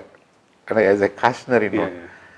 No I I still hold that way ఎందుకంటే Atal Bihari Vajpayee garu first of all noble personality then a poet then probably a politician ఆయన కూడా అదే వరుసలో చెప్పుకుంటాడు. He wanted to be a good person he wanted to be a పత్రకార్. అంతేనా? ఈ రెండు కుదరక కుదిరో ఏమనుకుంటారో జనం ఆయనకు తెలియదు కానీ ఇది ట్రై చేశాడు. పత్రకారుకు బదులుగా పొలిటీషియన్ అయ్యాడు. పొలిటీషియన్లో కూడా మళ్ళీ పోయిట్గాను ఉన్నాడు. అందరికీ నచ్చేలాగానే అందరి అవసరాలను గుర్తించుకుంటానే అందరికీ ఫ్రెండ్లీగా ఉంటూనే మన దేశంలోనే కాదు పొరుగు దేశాలతో కూడా. ఐ థింక్ ఈ ఈ డిమాన్స్ట్రేటెడ్ ఎ వెరీ వెరీ స్థితప్రజ్ఞులు అంటారు చూసారా? ఆవేశపడకుండా ప్రశాంతంగా మన దేశంలో ఉన్న పరిస్థితుల నుంచి ఒక మెట్టు పైకి ఎక్కడం ఎలా? అన్ని రంగాల్లో. ఇన్ఫ్రాస్ట్రక్చర్ అవ్వచ్చు ఎంప్లాయ్మెంట్ క్రియేషన్ అవ్వచ్చు ఆర్థిక రంగం ఏదైనా మీరు ఏ చూసినా కానీ he wanted to move it up a little bit జెన్యున్గా ట్రై చేశాడు. కాబట్టి ఈ దేశం జెన్యున్గా ఆయన గుర్తుపెట్టుకుంటుంది అలాగే ఎన్టీ రామారావు గారు సామాజికంగా మీరు సోషల్ ఇంజనీరింగ్ అన్నారు కదా కొంతమందికి అసలు అవకాశమే రావట్లేదు వాళ్ళ వాయిసే వినపట్లేదు ఇఫ్ ఇఫ్ అసలు వాళ్ళ వాయిస్ లేనప్పుడు ఇంక డెమోక్రసీకి అర్థమేముంది ఆయన కాంగ్రెస్ పార్టీ ఇరవై ఆరు సీట్లు గెలిచినప్పుడు కూడా రాజశేఖర రెడ్డి గారు పీసీసీగా ఉన్నప్పుడు జనార్దన్ రెడ్డి గారికి కావాలని లీడర్ ఆఫ్ ద అపోజిషన్ ఇచ్చారు కదండి. They are not eligible. However అసలు అపోజిషన్ లేకపోతే ఇంకా హౌస్కి అర్థమేముంది ఈ ప్రొసీడింగ్స్కి అర్థమేముంది అలా I think those are the noble ideas అందరికీ అవకాశం ఇవ్వాలి అట్టడుగు వర్గాలకు అవకాశం ఇవ్వాలి వాళ్ళ క్షేమం చూసుకోవాలి. అలాంటి ఆలోచన చేశారు కాబట్టి ఎన్టీ రామారావు గారిని నాకెక్కడ ఆయనతో ఏం ప్రాబ్లం అనిపించదు. నేను ఎప్పుడు ఆయనతో పనిచేయలే but I I have reverence for him. Chandrababu Naidu garu IT అది ఇది చేస్తున్నారనేది ఉంది దాని మీద రెస్పెక్ట్ ఉంది ఆయనతో కలిసి పనిచేసి పదిహేను సంవత్సరాల దూరం ప్రయాణం చేసిన తర్వాత ఇప్పుడు మనకి డౌట్స్ అన్నీ వస్తున్నాయి కానీ two thousand four to two thousand nine మాకు ఈ సమస్యలు లేవు. ఆ పొజిషన్లో ఉన్నాం ఆయన ఎవరికి ఇచ్చేది లేదు. తల కొద్దిగా తల పని చేయాలి. నైన్లో నుంచి మళ్ళీ ఫోర్టీన్ వరకు మనం అపోజిషన్లో ఉన్నాం. మనకు ఇప్పుడు వాళ్ళు ఇవ్వడానికి లేదు. ఏదో కొంతమంది ఎమ్మెల్యేలు అయ్యారు మిగతా వాళ్ళందరూ పార్టీ పనిచేసాం ఇదంతా ఇప్పుడు డిస్కస్ కూడా చేస్తుండేవాళ్ళం ఆయనతోటి ఆయన ఎన్నోసార్లు నేను మారాను కార్యకర్తలకు నేను ప్రాధాన్యత ఇస్తానని చెప్పి అనేక సందర్భాల్లో ఇంటర్నల్గా ఎక్స్టర్నల్గా మాట్లాడిన కేసెస్ ఉన్నాయి. కానీ ఒకసారి ఆయన సీఎం అయిన తర్వాత అదంతా మర్చిపోయాడు. అంటే దీన్ని ఏమంటారంటే మాట తప్పటం అంటారు. ఇప్పుడు నేను చంద్రసాంసరావు అనే నేను ఎవరైతే చంద్రబాబు నాయుడు గారు నా విషయంలో మాట తప్పాడని అనుకుంటున్నారో ఆ కార్యకర్తలందరి తరఫున మాట్లాడుతున్నాను. వాళ్ళందరి మనసులో ఇదే ఉంటుంది. బాబు గారు నన్ను పక్కకు పిలిచి నా చెవిలో పిలిచి మన వస్తాం. సరదాగా మాట్లాడుకోవాలంటే మన సర మన వస్తాం కరివేపాకులు అందరి తరఫున మాట్లాడుతున్నారు మీరు. అనుకోండి అలాగే అనుకోండి. But karivepaku also served a very beautiful purpose exactly దాన్ని ఇగ్నోర్ చేయకూడదు మనం. మీరు ఇవాళ టెంపరీగా అనుకున్న చందు సాంసరాకు బహుశా పెద్దగా ఫరక్ పడకపోవచ్చు. సాంబశివరావు గారు మీ మీ మీ ట్రాక్ రికార్డ్ పట్ల మీ అకాడమిక్ ట్రాక్ పట్ల మీ పొలిటికల్ ట్రాక్ పట్ల మీ కమిట్మెంట్తో పట్ల అన్నిటి పట్ల కన్సర్న్ ఉంది కాబట్టే ఈ వర్డ్ వస్తుంది మా నుంచి చూడు సార్. చూడు అరే ఇంకా అంటే మనకు కొంతమంది సో తెలిసిన రెండు వేల నాలుగులో రాజకీయాల్లోకి వచ్చేటప్పటికే బీజేపీ మీద కొంత మీకు మీకు సానుకూలత ఉంది అంటారు. ఎస్ బీజేపీ విధానాల్లో కానివ్వండి బీజేపీ లీడర్షిప్ మీద కానివ్వండి సానుకూలమైన దృక్పథమే ఉంది అభిమానం ఉంది. ఇన్ఫ్యాక్ట్ బీజేపీ టీడీపీ కలిసి ఉండటం అనేది ఆ రోజున జరిగింది. మేము వచ్చినప్పుడు బీజేపీ టీడీపీ అంతా కలిసే ఉన్నాం. మీరు ఉమ్మడి అభ్యర్థిగానే ఉన్నారు. ఉమ్మడి అభ్యర్థిగానే ఉన్నాం. టీడీపీలో ఉన్నా కానీ బీజేపీ వాజ్ అవర్ పార్ట్నర్. తర్వాత బీజేపీతో ఎందుకు విడిపోయామో కూడా కరెక్ట్ ఆన్సర్ లేదు. వాళ్ళు ఓడిపోయి ఉన్నారు మనం ఓడిపోయి ఉన్నాం. ఇప్పుడు ఎందుకు మనం విడిపోతున్నాం? విడిపోయాం. రెండు వేల నాలుగులోనే విడిపోయినట్టుగా సిగ్నల్స్ ఇచ్చేశారు. తర్వాత మళ్ళీ రెండు వేల తొమ్మిది వచ్చేసరికి మనం ఎక్కడెక్కడో వేరే కాంబినేషన్లో ఏదో కలిసాం. మళ్ళీ రెండు వేల పద్నాలుగు వచ్చేసరికి మళ్ళీ బీజేపీ దగ్గరకు వచ్చాం. మళ్ళీ రెండు వేల పంతొమ్మిది దగ్గరకు వచ్చేసరికి మళ్ళీ బీజేపీ వద్దనుకున్నాం వాట్ ఈజ్ ద రీజన్ అంటే అప్పటికప్పుడు టెంపరీగా మనం చూసుకుంటున్నామా? మనకు ఒక విధానపరమైనటువంటి కమిట్మెంట్ ఉందా? బీజేపీ విధానాల్లో బీజేపీ సిద్ధాంతాల్లో బీజేపీ నాయకత్వంలో ఏమైనా మార్పులు వచ్చినాయా? కాబట్టి మనకు సూటబుల్ కాదా? టీడీపీలో ఏమైనా సైద్ధాంతిక మార్పులు వచ్చినాయా? కాబట్టి బీజేపీతో ప్రయాణం చేయటం సూటబుల్ కాదా? దానికి ఆన్సర్స్ లేవు. సాంబశివరావు గారు మరో సూటి ప్రశ్న. అటల్ బిహారీ వాజ్పేయి రాజకీయ విధానాలు మీకు ఆదర్శం అన్నారు. కానీ అటల్ బిహారీ వాజ్పేయి విధానాలకి పూర్తి విరుద్ధమైనటువంటి విధానాలు మోడీ అమలు జరుపుతున్నాడు అనేటటువంటి విమర్శలు బలంగా ఉంది దాని గురించి ఏమంటారు? ఐ డోంట్ థింక్ సో అది అది అది అంటే బీజేపీ ఇంకొద్దిగా మనం ముందుకెళ్ళి ఆలోచిస్తే ఆర్ఎస్ఎస్ లాంటి organisations they are severely damaged. ఈ రెండు తెలుగు రాష్ట్రాల్లో as far as their image is concern వాటి ఇమేజ్ని పాడు చేయడానికి మాత్రం మన నాయకులు చాలా కష్టపడ్డారని నేను అనుకుంటున్నాను. They are most misunderstood organisations అని కూడా నేను అనుకుంటున్నాను. ఎప్పుడైనా బీజేపీ మాట రాగానే అదేదో కులతత్వ పార్టీ మతతత్వ పార్టీ అనేస్తున్నారు మతతత్వ పార్టీ అనేస్తున్నారు చాలా ఈజీగా అనేస్తున్నారు అలా అని ఎవరికైనా ఇబ్బంది పెట్టారా? ఏ మతాన్నైనా వాళ్ళు ఏమైనా ఐసోలేట్ చేసి ప్రత్యేకంగా ఈ బెనిఫిట్ మీకు రాదను ఈ బెనిఫిట్ మీకు ఇవ్వకూడదను ఫైట్ చేశారా? ఎక్కడైనా మతాలకు సంబంధించిన స్వేచ్ఛ విషయంలో అడ్డుపడ్డారా? ఎక్కడ వస్తుంది ఇది? ఈ డిస్కషన్ ఎందుకు వస్తుంది? వాళ్ళు ఇక్కడ రాకూడదు కాబట్టి మన స్థానిక నాయకులు ఆ ప్రచారంలో తీసుకొస్తున్నారు. అది పొలిటికల్గా how to face it let us face it. ఇవాళ మోడీ గారు వచ్చిన తర్వాత వాళ్ళు గత సెవెంటీ ఇయర్స్గా ఏం చేయాలనుకుంటున్నారు? వాళ్ళ ఎజెండాలో పెద్ద మార్పులు రాలేదు. మీరు ఆర్టికల్ త్రీ సెవెంటీ అనుకోండి ట్రిపుల్ తలాక్ అనుకోండి ఇంకోటి అనుకోండి ఇంకోటి అట్ల బిహారీ వాజ్పేయి గారు త్రీ సెవెంటీ అట్టి పెడదాం అన్నాడు. నరేంద్ర మోడీ గారు వచ్చి దాన్ని తీసేశాడు. ఏం కాదు కదా? భారతీయ జనసంఘంలో నుంచే అట్ల బిహారీ వాజ్పేయి గారు ఒక యువకుడుగా ఉన్న రోజుల్లోనే ఎవరు? శ్యామప్రసాద్ ముఖర్జీ గారు ఈ త్రీ సెవెంటీకి వ్యతిరేకంగా పోరాటం చేస్తూనే కదా అక్కడికి వెళ్ళి అరెస్ట్ అయిపోయిన తర్వాత సబ్సిక్వెంట్గా ఈ పాస్ట్ అవే ఆ రోజు నుంచి కూడా ఈ త్రీ సెవెంటీ ఉండకూడదనే కదా వాదన? సో భారతీయ జనసంఘ్ కానీ భారతీయ జనతా పార్టీకి కానీ వాళ్ళు చేస్తున్న ఏది కూడా న్యూస్ కాదు. ఇది గతంలో వాళ్ళు ఏమి నమ్మారో గతంలో దేనికోసం వాళ్ళు ఫైట్ చేసి వాళ్ళ పార్టీని స్ట్రెంథన్ చేసుకుంటూ బలోపేతం చేసుకుంటూ వచ్చారో అవే చేసుకుంటూ వస్తున్నారు. కాబట్టి భారతీయ జనతా పార్టీలో సైద్ధాంతికమైనటువంటి డిఫరెన్సెస్ ఏమన్నా ఉన్నాయంటే ఐ డౌట్ ఇట్. కానీ ఎగ్జిక్యూషన్లో డిఫరెన్స్ ఉంది. ఎగ్జిక్యూషన్లో డిఫరెన్స్ ఉండడానికి అవకాశం ఉంది ఇప్పుడు. వాజ్పేయి గారి టైంలో కోయలేషన్ గవర్నమెంట్స్. ఆయనకి చేయాలని ఉన్నా కానీ అందరినీ కలుపుకెళ్ళాలి ఒక్కొక్కళ్ళు ఒక్కొక్క విధానంలో ఉంటారు. వాళ్ళ వాళ్ళకి స్థానికంగా సమస్యలు ఉంటాయి ఇబ్బందులు ఉంటాయి లిమిటేషన్స్ ఉంటాయి కాబట్టి ఆయన చేయలేకపోయి ఉండొచ్చు. ఇప్పుడు ల్యాండ్ స్లైడ్ మెజారిటీ అనేది ఉంది కాబట్టి వాళ్ళు చేయగలుగుతారు. ఏమైనా వాళ్ళు చేయాల్సింది డిఫరెంట్గా చేస్తున్నారా అంటే to my knowledge no Vajpayee గారు దీన్ని వ్యతిరేకించాడు.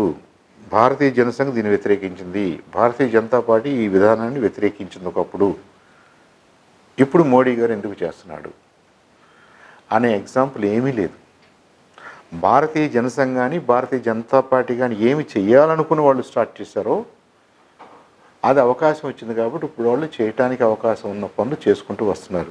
Maybe the entire country wants them to do that only లేదంటే ఎందుకు గెలిపిస్తారండి? ఇప్పుడు మ్యాండేట్ అంటే ఏంటి? జగన్మోహన్ రెడ్డి గారికి నూట యాభై సీట్లు వచ్చినాయంటే జగన్మోహన్ రెడ్డి గారు ఏదైతే చేస్తానని బయలుదేరాడో అవన్నీ చేస్తే బాగుంటుందనే కదా ఓట్లు వేశారు ఇప్పుడు ఆయన దాంట్లో నుంచి వెనక్కి వెళ్ళకూడదు ఇప్పుడు మరి ఈ ఐదు సంవత్సరాలు.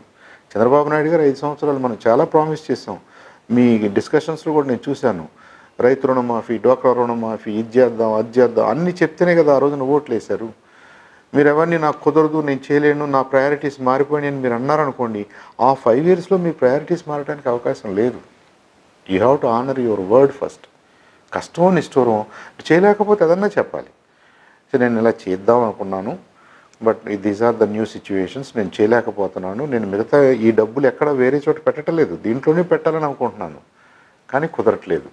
అనే ఆనెస్టీ అయినా కనపడాలి కదా. ఇక మరొక కీలకమైనటువంటి అంశం ఆంధ్రప్రదేశ్ కేటాయింపుల విషయంలో బీజేపీ సరైన దృక్పథంతో లేదు చిన్న చూపు చూస్తుంది అనేది తెలుగుదేశం పార్టీ తీసుకొచ్చిన వాదన.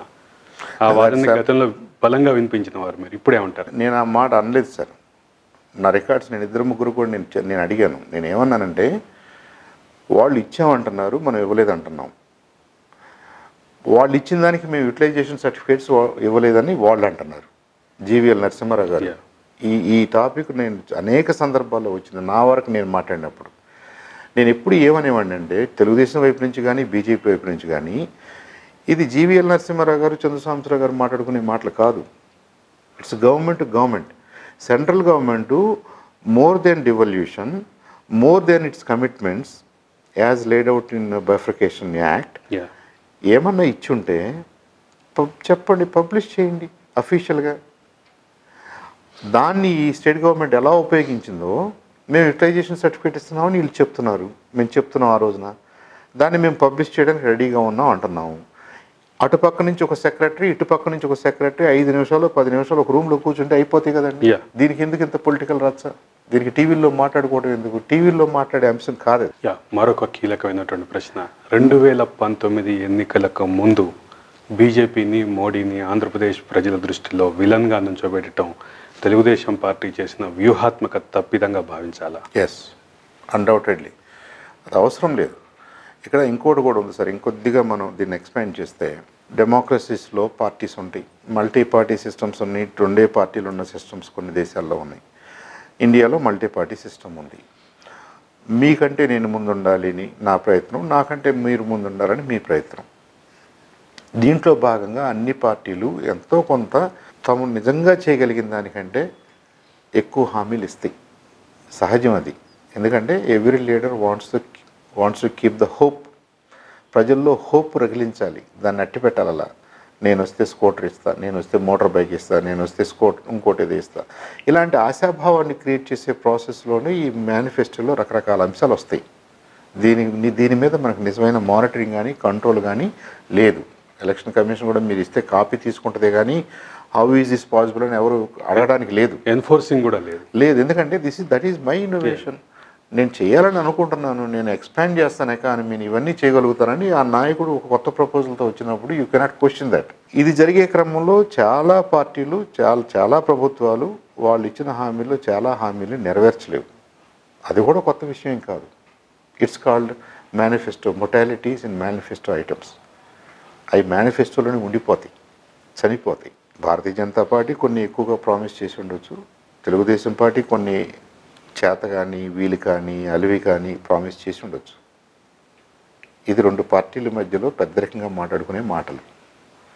ఒకవేళ భారతీయ జనతా పార్టీ చేయలేదని మనకు అనిపిస్తే చంద్రబాబు నాయుడు గారు పార్టీ టు పార్టీ లెవెల్లోనన్నా మాట్లాడుకోవాలి.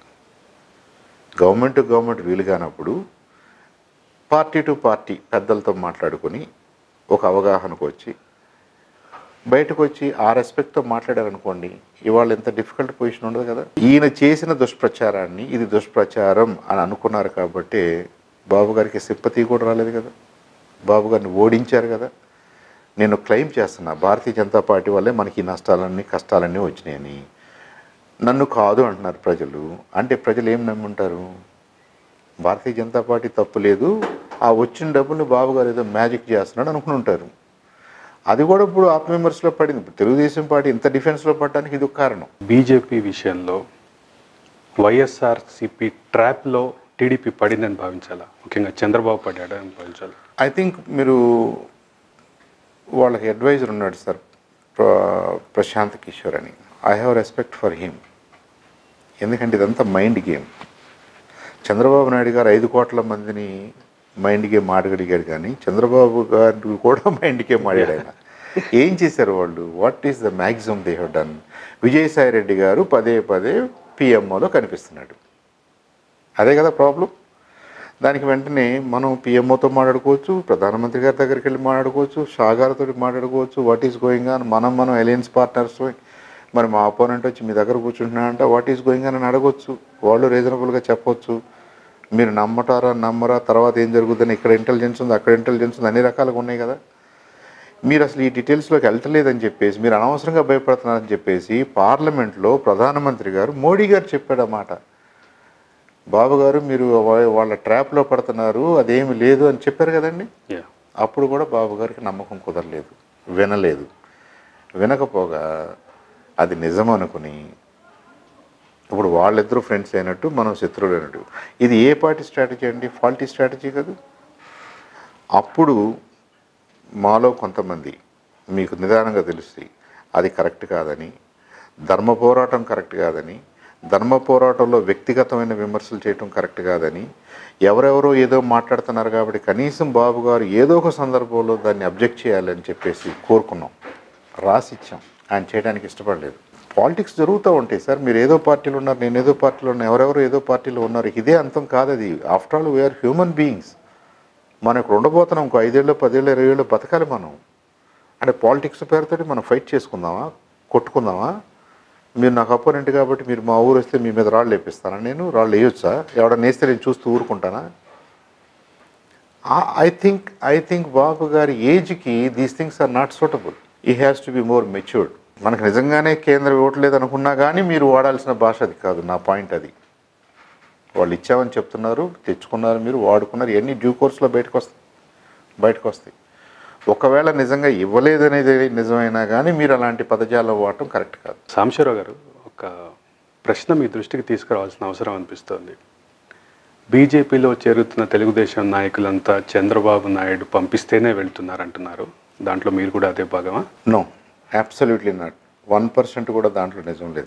ఇన్ఫ్యాక్ట్ నేను బీజేపీలో చేరాలి అనుకున్న విషయాన్ని కూడా నేను చంద్రబాబు నాయుడు గారితో చెప్పాల్సిన అవసరం లేదనుకున్నాను. నేను చెప్పలేదు. ఇది మీడియాలో తెలుసుకున్న తర్వాత ఆయన టీడీ జనార్దన్ గారిని మాట్లాడమని పంపించారు. ఆయన మా ఇంటికి వచ్చాడు. నేను ఇదే అన్నాను.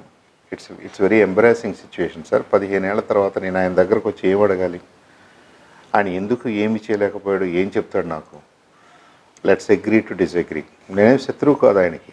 ఆయన నాకు శత్రువు నేను అనుకోవట్లేదు. Let him be with his party I don't want to be part of that thing నేను బయటకు వచ్చాను.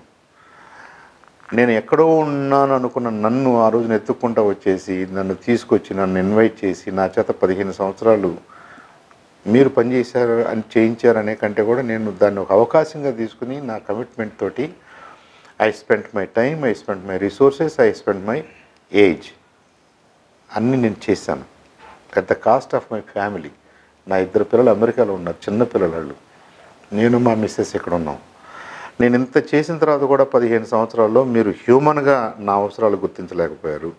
ఒక ఎడ్యుకేటెడ్ పర్సన్గా నా అవసరాలు గుర్తించలేకపోయారు. ఒక ఫాదర్గా సాంసరా గారికి ఏం అవసరం మీకు తెలియదు ఒక నాయకుడిగా నాకేం అవసరం మీకు తెలియదు అసలు మీరు నన్ను ఏం చేయాలనుకుంటున్నారో మీకు ఇంతవరకు అర్థం కాలేదు. ఇప్పుడు ఐదు నిమిషాలు నేను ఆయన దగ్గరకు వచ్చి ఐదు నిమిషాలు నేను ఆయనతో ఏం మాట్లాడాలి? ఐదు వేల గంటలు మాట్లాడి ఉంటాను ఇంతవరకు.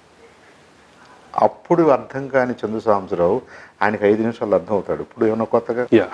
కాబట్టి నేను రాను అని చెప్పానండి. నేను ఆయన దగ్గరికి వెళ్ళలేదు. వెళ్ళాల్సిన అవసరం కూడా నాకు అనిపించలేదు. పొలిటికల్లీ స్పీకింగ్ అదర్వైజ్ ఇంకా తర్వాత మనం ఎక్కడో యాజ్ పర్సన్ టు పర్సన్ ఏదైనా అవసరం వస్తేనో లేదంటే అక్కడ కనిపిస్తేనో I have no any must అలాంటి సిల్లీ ఐడియాస్ నాకేం లేవు. ఆయన ఆయన నాకు శత్రువు కాదు. జగన్మోహన్ రెడ్డి గారు నాకు శత్రువు కాదు. ఎవరు శత్రువు కాదు. We are working for different things now I'm working for BJP బీజేపీతో ఉండాలని నాకు కోరిక ఉంది. బికాస్ దే ఇన్వైటెడ్ మీ మనం అంతా కోల్పోయాము ఓడిపోయాము ఏమీ లేదనుకున్న టైంలో బీజేపీలో ఉన్న పెద్దలు ఫోన్ చేసి రప్పించుకుని వచ్చి నా దగ్గరికి. "లే, లేదండి మీరు అలా అనుకోవద్దు. పదిహేనేళ్ళలో నేను ఇదే మాట అన్నాను. సార్ నేను పదిహేను సంవత్సరాల క్రితం ఎక్కడో ఉన్నాను. అమెరికా వచ్చినప్పుడు నా దగ్గరికి చాలామంది నాయకులు గౌరవార్థంగాను ఫ్రెండ్లీగాను ఇంకోటో ఇంకోటో వచ్చి కాసేపు కూర్చుని మాట్లాడుకునేవాళ్ళం. అలాంటి నాయకులు ఇవాళ ఎక్కడెక్కడికో వెళ్ళిపోయారు పెద్ద నాయకులు మహానాయకులు అయిపోయారు. నేనేమో అలాగే ఉన్నాను. ప్రాబబ్లీ బాబు గారు successfully played his game to make me zero నాకు తెలియదు అది. నాకు ఆ డౌట్ లేదు. మీరు అందరూ అంటున్నారు కాబట్టి నేను చెప్తున్నాను. Even if he played that game ఆయన సున్నా అనుకుంటున్న చందు సాంసరాని బీజేపీ వాళ్ళు నువ్వు సున్నా కాదు అని చెప్తున్నారు. నేను అటు వెళ్ళాలా? ఇక్కడ ఉండాలా? టీడీ గారు మీరు చెప్పండి. మీ సలహా మేరకు నేను వస్తానన్న చెప్పలేకపోయాడు ఆయన. హీ నోస్ ఎవ్రీథింగ్ పగలు పని చేయటం రాత్రి పని చేయటం ఈ ఊరు వెళ్ళటం ఆ జిల్లా వెళ్ళటం ఈ జిల్లా వెళ్ళటం is not easy sir for whom ఒక ప్లాట్ఫామ్ని నమ్ముకుని ఈ జనం కోసం మనం ఏదో ఉపయోగపడదాం అనుకుంటే అసలు మీరు నన్నే కట్ చేస్తున్నారనుకోండి ఇంకా నేను జనంకు ఉపయోగపడేది ఏముంది? I'm I'm wasting my whatever నాకున్న నాలుగు ఏదో చేయాలనే ఒక ఒక తపన ఉంది కదా. మీరు నాకు అవకాశం ఇస్తే కదా అది మంచి వచ్చేటో తెలుస్తుంది అసలు మీ అవకాశం ఏమో మీరు అన్నట్టుగా మేబీ మీరు బికాస్ ఆఫ్ దిస్ అని ఏదైనా అనుకున్నారనుకోండి ఇంక నేనేం చేయాలి? సో పదిహేనేళ్ళు అనే కంటే కూడా పదిహేనేళ్ళ తర్వాత కూడా ఆయన రీజనబుల్గా ఆలోచించలేకపోయాడా. సాంబశివరావు గారు టీడీపీ నాయకులు బీజేపీలో ఎవరైతే చేరుతున్నారో వాళ్ళందరూ చంద్రబాబు నాయుడు మద్దతుతోటో లేదా చంద్రబాబు నాయుడు పంపిస్తేనో వస్తున్నారనేటటువంటి వాదన విషయంలో మీ అభిప్రాయం ఏంటి? ఐ డోంట్ థింక్ సో అండి. నాట్ ఆల్ ఎవరైనా ఒకళ్ళిద్దరు ఉంటే ఒకళ్ళు ఎందుకంటే వాళ్ళకున్న రిలేషన్షిప్ని బట్టి ధర్మంగా ఉంటుందని చెప్పి ఉండొచ్చు. ఆయన కూడా సరే మీ ఇష్టం అని ఉండొచ్చేమో నాకు తెలియదు కానీ నా వరకు నేనైతే నాకు ఇంకా మీరు వేరే వాళ్ళు కూడా తెలుసు. నాతో పాటు వచ్చిన వాళ్ళు కూడా తెలుసు. వాళ్ళకి కూడా బాబుగారితో వెళ్ళి మాట్లాడుకుని చెప్పి వచ్చే అంత చనువు ఉంది. వాళ్ళు ఏం చేయట్లేదు. అలా ఏం చేయట్లేదు. బాబుగారు అట్ట ఏం అట్ట పంపుతున్నాడని కూడా నేను అనుకోవట్లేదు పంపుతున్నాడనే వాదన ఉంది. పంపుతున్నాడనే వాదన I think is more damaging to TDP they need to be more careful నేను బీజేపీలో ఉన్నా కానీ నేను బీజేపీకి డ్యామేజ్ చేస్తుందా? టీడీపీకి డ్యామేజ్ చేస్తుందా? టీడీపీకి డ్యామేజ్ చేస్తుంది అల్టిమేట్లీ. బీజేపీ ఈజ్ మహాసముద్రం సార్. ఆంధ్రప్రదేశ్లో వాళ్ళకు ఇంకో సీటు పెరిగినా పెరగకపోయినా కానీ బీజేపీకి ఏం ఫరక్ పడదు. బట్ బాబు గారు భయపడిపోయి తన మనుషుల్ని బీజేపీ దగ్గరకు పంపిస్తున్నాడనే వాదన తెలుగుదేశం పార్టీని ఇంకా ఇంకా ఇంకా పాతాళానికి తన్నేస్తుంది. తొక్కేస్తుంది అవునా కాదా చెప్పండి? భవిష్యత్ ఎన్నికలు. చంద్రబాబు నాయుడు గారి మనుషులందరూ ఆయనే దగ్గరుండి బీజేపీలోకి పంపిస్తున్నాడు అంటే నేను దుకాణం మూసుకుంటున్నాననే కదా? మరొక కీలకమైన ప్రశ్న. భవిష్యత్ ఎన్నికల్లో టీడీపీ బీజేపీ పొత్తుతో వెళ్ళే అవకాశం ఏమైనా కనిపిస్తుందా మీకు? బీజేపీ సైద్ధాంతికంగా స్ట్రాంగర్ పార్టీ సార్. బీజేపీకి ఆంధ్రప్రదేశ్ విషయంలో క్లారిటీ ఉంది. వాళ్ళు అన్ని విషయాల్లో కూడా క్లియర్గా ఎప్పటికప్పుడు మాట్లాడుతున్నారు. సార్ దాన్ని మిస్రిప్రజెంట్ చేశాడు బాబు గారు. ఆయన ఇబ్బందిలో పడ్డాడు. జగన్మోహన్ రెడ్డి గారు ఏం చేయబోతున్నాడో మనకు తెలియదు ఫెయిర్గా జరిగితే జగన్మోహన్ రెడ్డి గారికి కూడా మంచి పేరే వస్తుంది. మేబీ జగన్మోహన్ రెడ్డి గారి పార్టీ ఉంటుంది భారతీయ జనతా పార్టీ ఉంటుంది to a smaller extent TDP కూడా మిగలవచ్చు ఆ రోజునున్న సిచ్యువేషన్లో ఒకవేళ జగన్మోహన్ రెడ్డి గారు కరెక్ట్గా చేయట్లేదు భారతీయ జనతా పార్టీని ఆదరించే టైం వచ్చింది ప్రజలందరూ కూడా ఆల్టర్నేటివ్ కోసం చూస్తున్నారు అలాంటి మూమెంట్ జనరేట్ అయినప్పుడు డెఫినెట్గా Bharatiya Janata Party will not hesitate to take that lead. ఏదో మనం అపోజిషన్ పార్టీగా మాట్లాడటమే కాదు అధికారంలో కూడా ఎందుకు రాకూడదనే ప్రయత్నం చేయడానికి సిద్ధంగా ఉంది. అప్పుడు ఒకవేళ టీడీపీనో ఇంకెవరన్నానో కాంగ్రెస్ పార్టీనో ఇవి ఉన్నాయి కదా మనకి చాలా చా- ఉన్నాయి కదా పార్టీలు. వాళ్ళల్లో లైక్ మైండెడ్ పీపుల్ వచ్చి కలుస్తారో లేదంటే పార్టీలుగా వచ్చి మద్దతు ఇస్తారో లేదంటే ఎలియన్సెస్గా వచ్చి పోటీ చేద్దామంటారో it's long way to go అది నా పర్వ్యూలో లేదు నేను చెప్పలేను.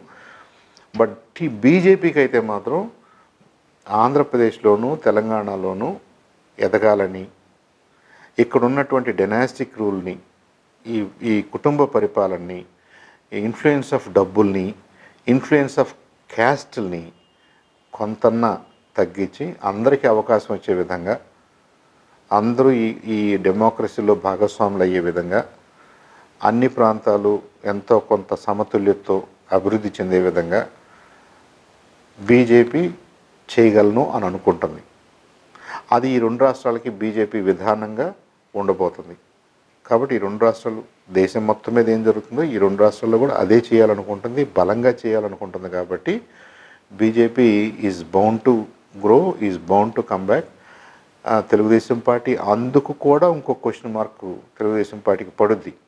మీ వంద వంద దాంట్లో ఈ టాపిక్ ఉందో లేదో నాకు తెలియదు కానీ భారతీయ జనతా పార్టీ కూడా రాబోయే రోజుల్లో తెలుగుదేశం పార్టీ ఎదుగుదలకి డెఫినెట్గా ఒక ఛాలెంజ్గా మిగులుంది. దాదాపు మూడున్నర నెలల ఆంధ్రప్రదేశ్ కొత్త ప్రభుత్వ పాలన ఎట్లా ఉంది? జనరల్లీ లుకింగ్ ఎట్ దెమ్ వాళ్ళు మరీ ఇంకా ఎగ్జైట్మెంట్లో ఉన్నారేమో కన్ఫ్యూజ్డ్ స్టేట్లో ఉన్నారేమో కన్ఫ్యూజ్ అవుతున్నారేమో అని అనిపిస్తుంది. ఎందుకంటే వాళ్ళ రీజన్స్ ఏంటో క్లియర్గా చెప్పలేదు.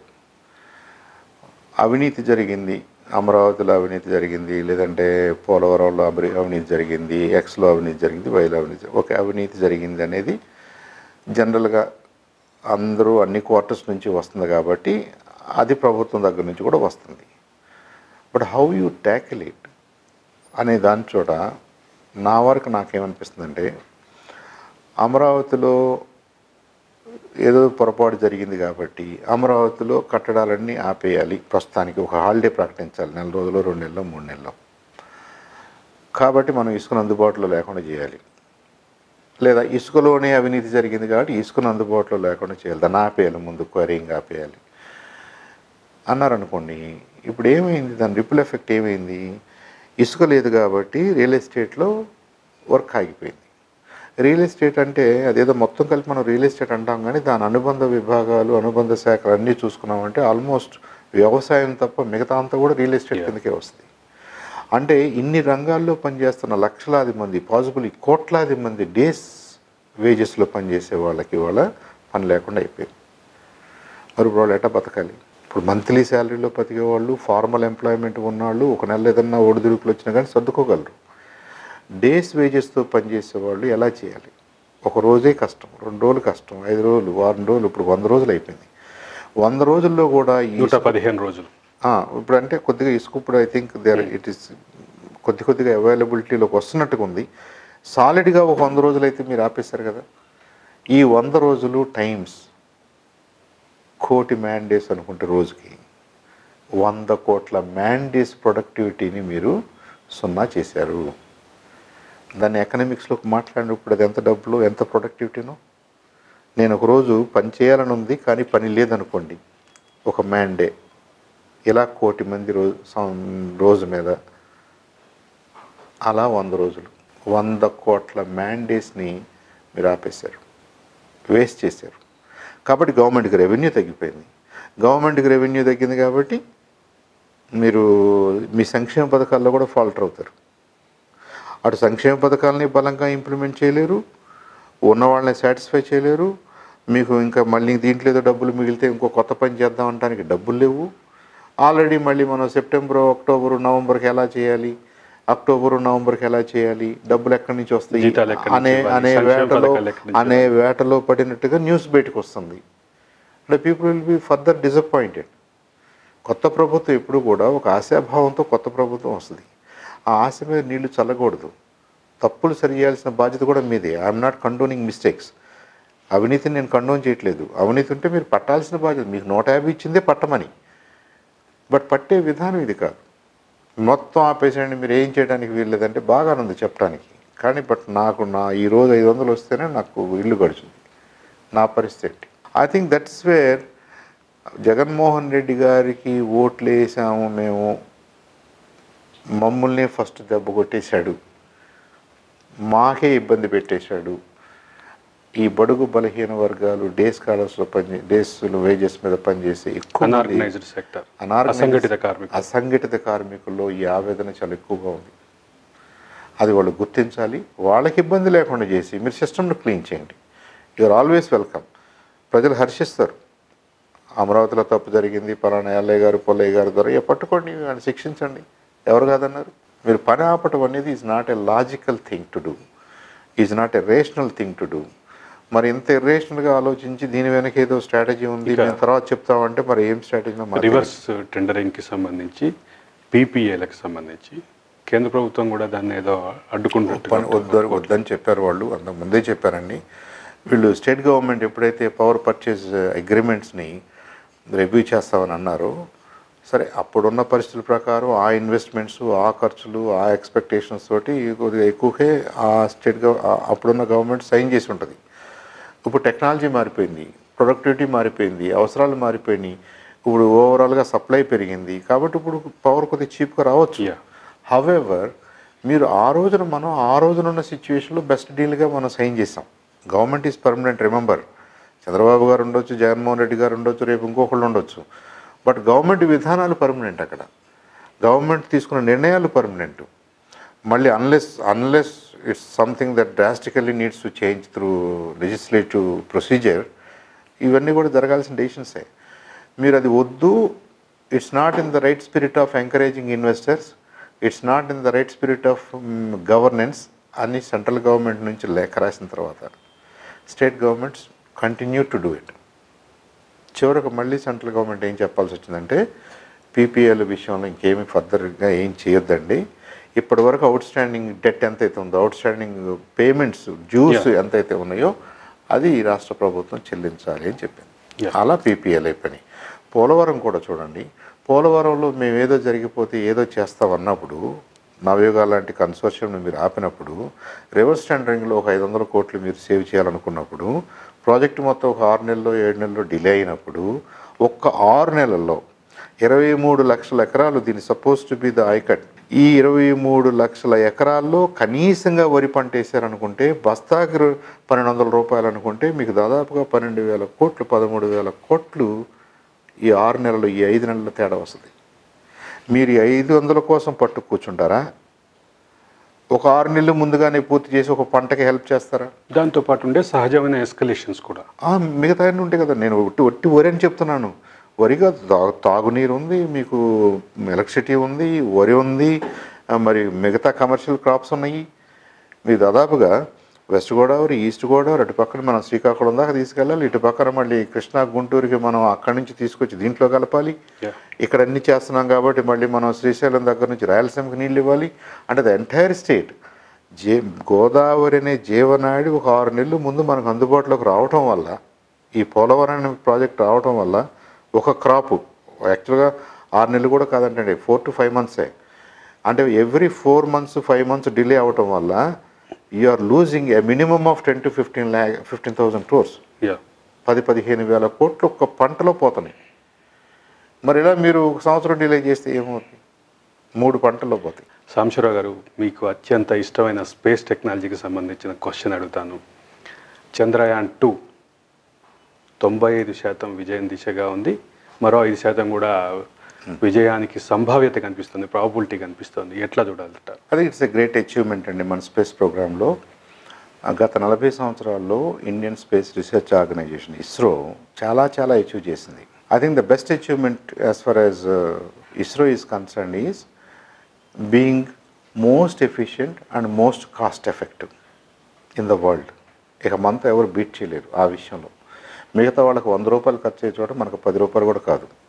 Not because of lower wages because of other innovations Hume Indian ingenuity వల్ల మనకి కాస్ట్ ఆఫ్ ఆపరేషన్స్ తక్కువ కాస్ట్ ఆఫ్ ప్రొడక్షన్ తక్కువ కాస్ట్ ఆఫ్ ఇన్నోవేషన్ తక్కువ అన్నీ తక్కువే. హ్యావింగ్ సెట్ దట్ మన ప్రోగ్రామ్స్లో నేను పిఎస్ఎల్వి టైంలో పనిచేశాను. పిఎస్ఎల్వి వాజ్ డిజైన్ ఫర్ ఒక థౌజండ్ కిలోగ్రామ్ సెటిలైట్స్ తర్వాత పదిహేను వందలు రెండు వేల దాకా దాన్ని ఎక్స్టెండ్ చేసుకుంటూ వెళ్ళారు స్ట్రెంగ్ చేసుకుంటూ ఎన్హాన్స్ చేసుకుంటూ. అదే టైంలో స్టార్ట్ అయిన GSLV geo synchronous satellite launch vehicle మనం రియలైజ్ చేయడానికి కొద్ది టైం పట్టింది. బికాజ్ రష్యన్స్ మనతో ఉన్న ఒప్పందాలు అది కరెక్ట్గా. కుదరకపోవడం ఆ తర్వాత మనమే క్రయోజనిక్ ఇంజిన్ డెవలప్ చేసుకోవాల్సిన అవసరం రావడం వీటన్నిటి వల్ల కొద్దిగా డిలే అయిన మాట వాస్తవం. But for the last four five years అది కూడా యాక్టివ్గా మనకు అందుబాటులోకి వచ్చింది. As of today the most powerful rocket అనుకుంటున్న జిఎస్ఎల్వి మార్క్ త్రీని ఉపయోగించి మనం చంద్రయాన్ మాడ్యూల్ని సక్సెస్ఫుల్గా చంద్రుడి ఆర్బిట్ దాకా తీసుకెళ్ళాం. First గోలో that's a that's a great achievement ఆర్బిట్లో ఇంకా పనిచేస్తూనే ఉంది. ఆ, మాడ్యూల్లో ఏమున్నాయి మనకి? ఆర్బిటర్ ఉంది. అంటే చంద్రుడి చుట్టూ తిరిగే ఒక పరికరం ఉంది ఒక సెటిలైట్ ఉంది. దాంట్లో నుంచి విడిపోయి చంద్రుడి మీద ల్యాండ్ కావడానికి ఏర్పాటు చేసినటువంటి. విక్రమ్. అనే ల్యాండర్ ఒకటి ఉంది. ల్యాండర్ కూడా చంద్రుడి మీదకి ల్యాండ్ అయ్యి అయ్యే క్రమంలో. అయ్యే క్రమంలో ఒక two kilometres two point one kilometres వరకు కరెక్ట్గా మనం ఎలా వెళ్ళాలనుకున్నామో ఎక్కడికి వెళ్ళాలనుకున్నామో అదే స్పాట్కి వెళ్తుంది. ఆ టూ పాయింట్ వన్ కిలోమీటర్ రెండు కిలోమీటర్ల ఎత్తులో ఉన్నప్పుడు మనకి కమ్యూనికేషన్ కట్ అయింది. ఇక ఇప్పుడు మనకి మనం ఊహించుకోవాల్సిన సిచ్యువేషన్స్ చెప్తున్నాను. ల్యాండర్ ఆల్రెడీ ప్రీ ప్రోగ్రామ్డ్ కాబట్టి దాంట్లో ఆన్బోర్డ్ కంప్యూటర్ ఉంటుంది కాబట్టి అది ఆర్టిఫిషియల్ ఇంటెలిజెన్స్తో పనిచేస్తుంది కాబట్టి ప్రాబబ్లీ ఆ టూ పాయింట్ వన్ కిలోమీటర్స్ దగ్గర నుంచి జాగ్రత్తగానే దిగి ఉండొచ్చు. దట్స్ ఎ పాసిబిలిటీ లేదు ఆ క్రమంలో ప్రొపల్షన్స్లో ఏదన్నా అంటువాడుగా ఏదైనా జరిగి ఉంటే ఏదన్నా చిన్న పొరపాటు జరిగి ఉండొచ్చు లేదు దానికి కెమెరాస్ ఉన్నాయి.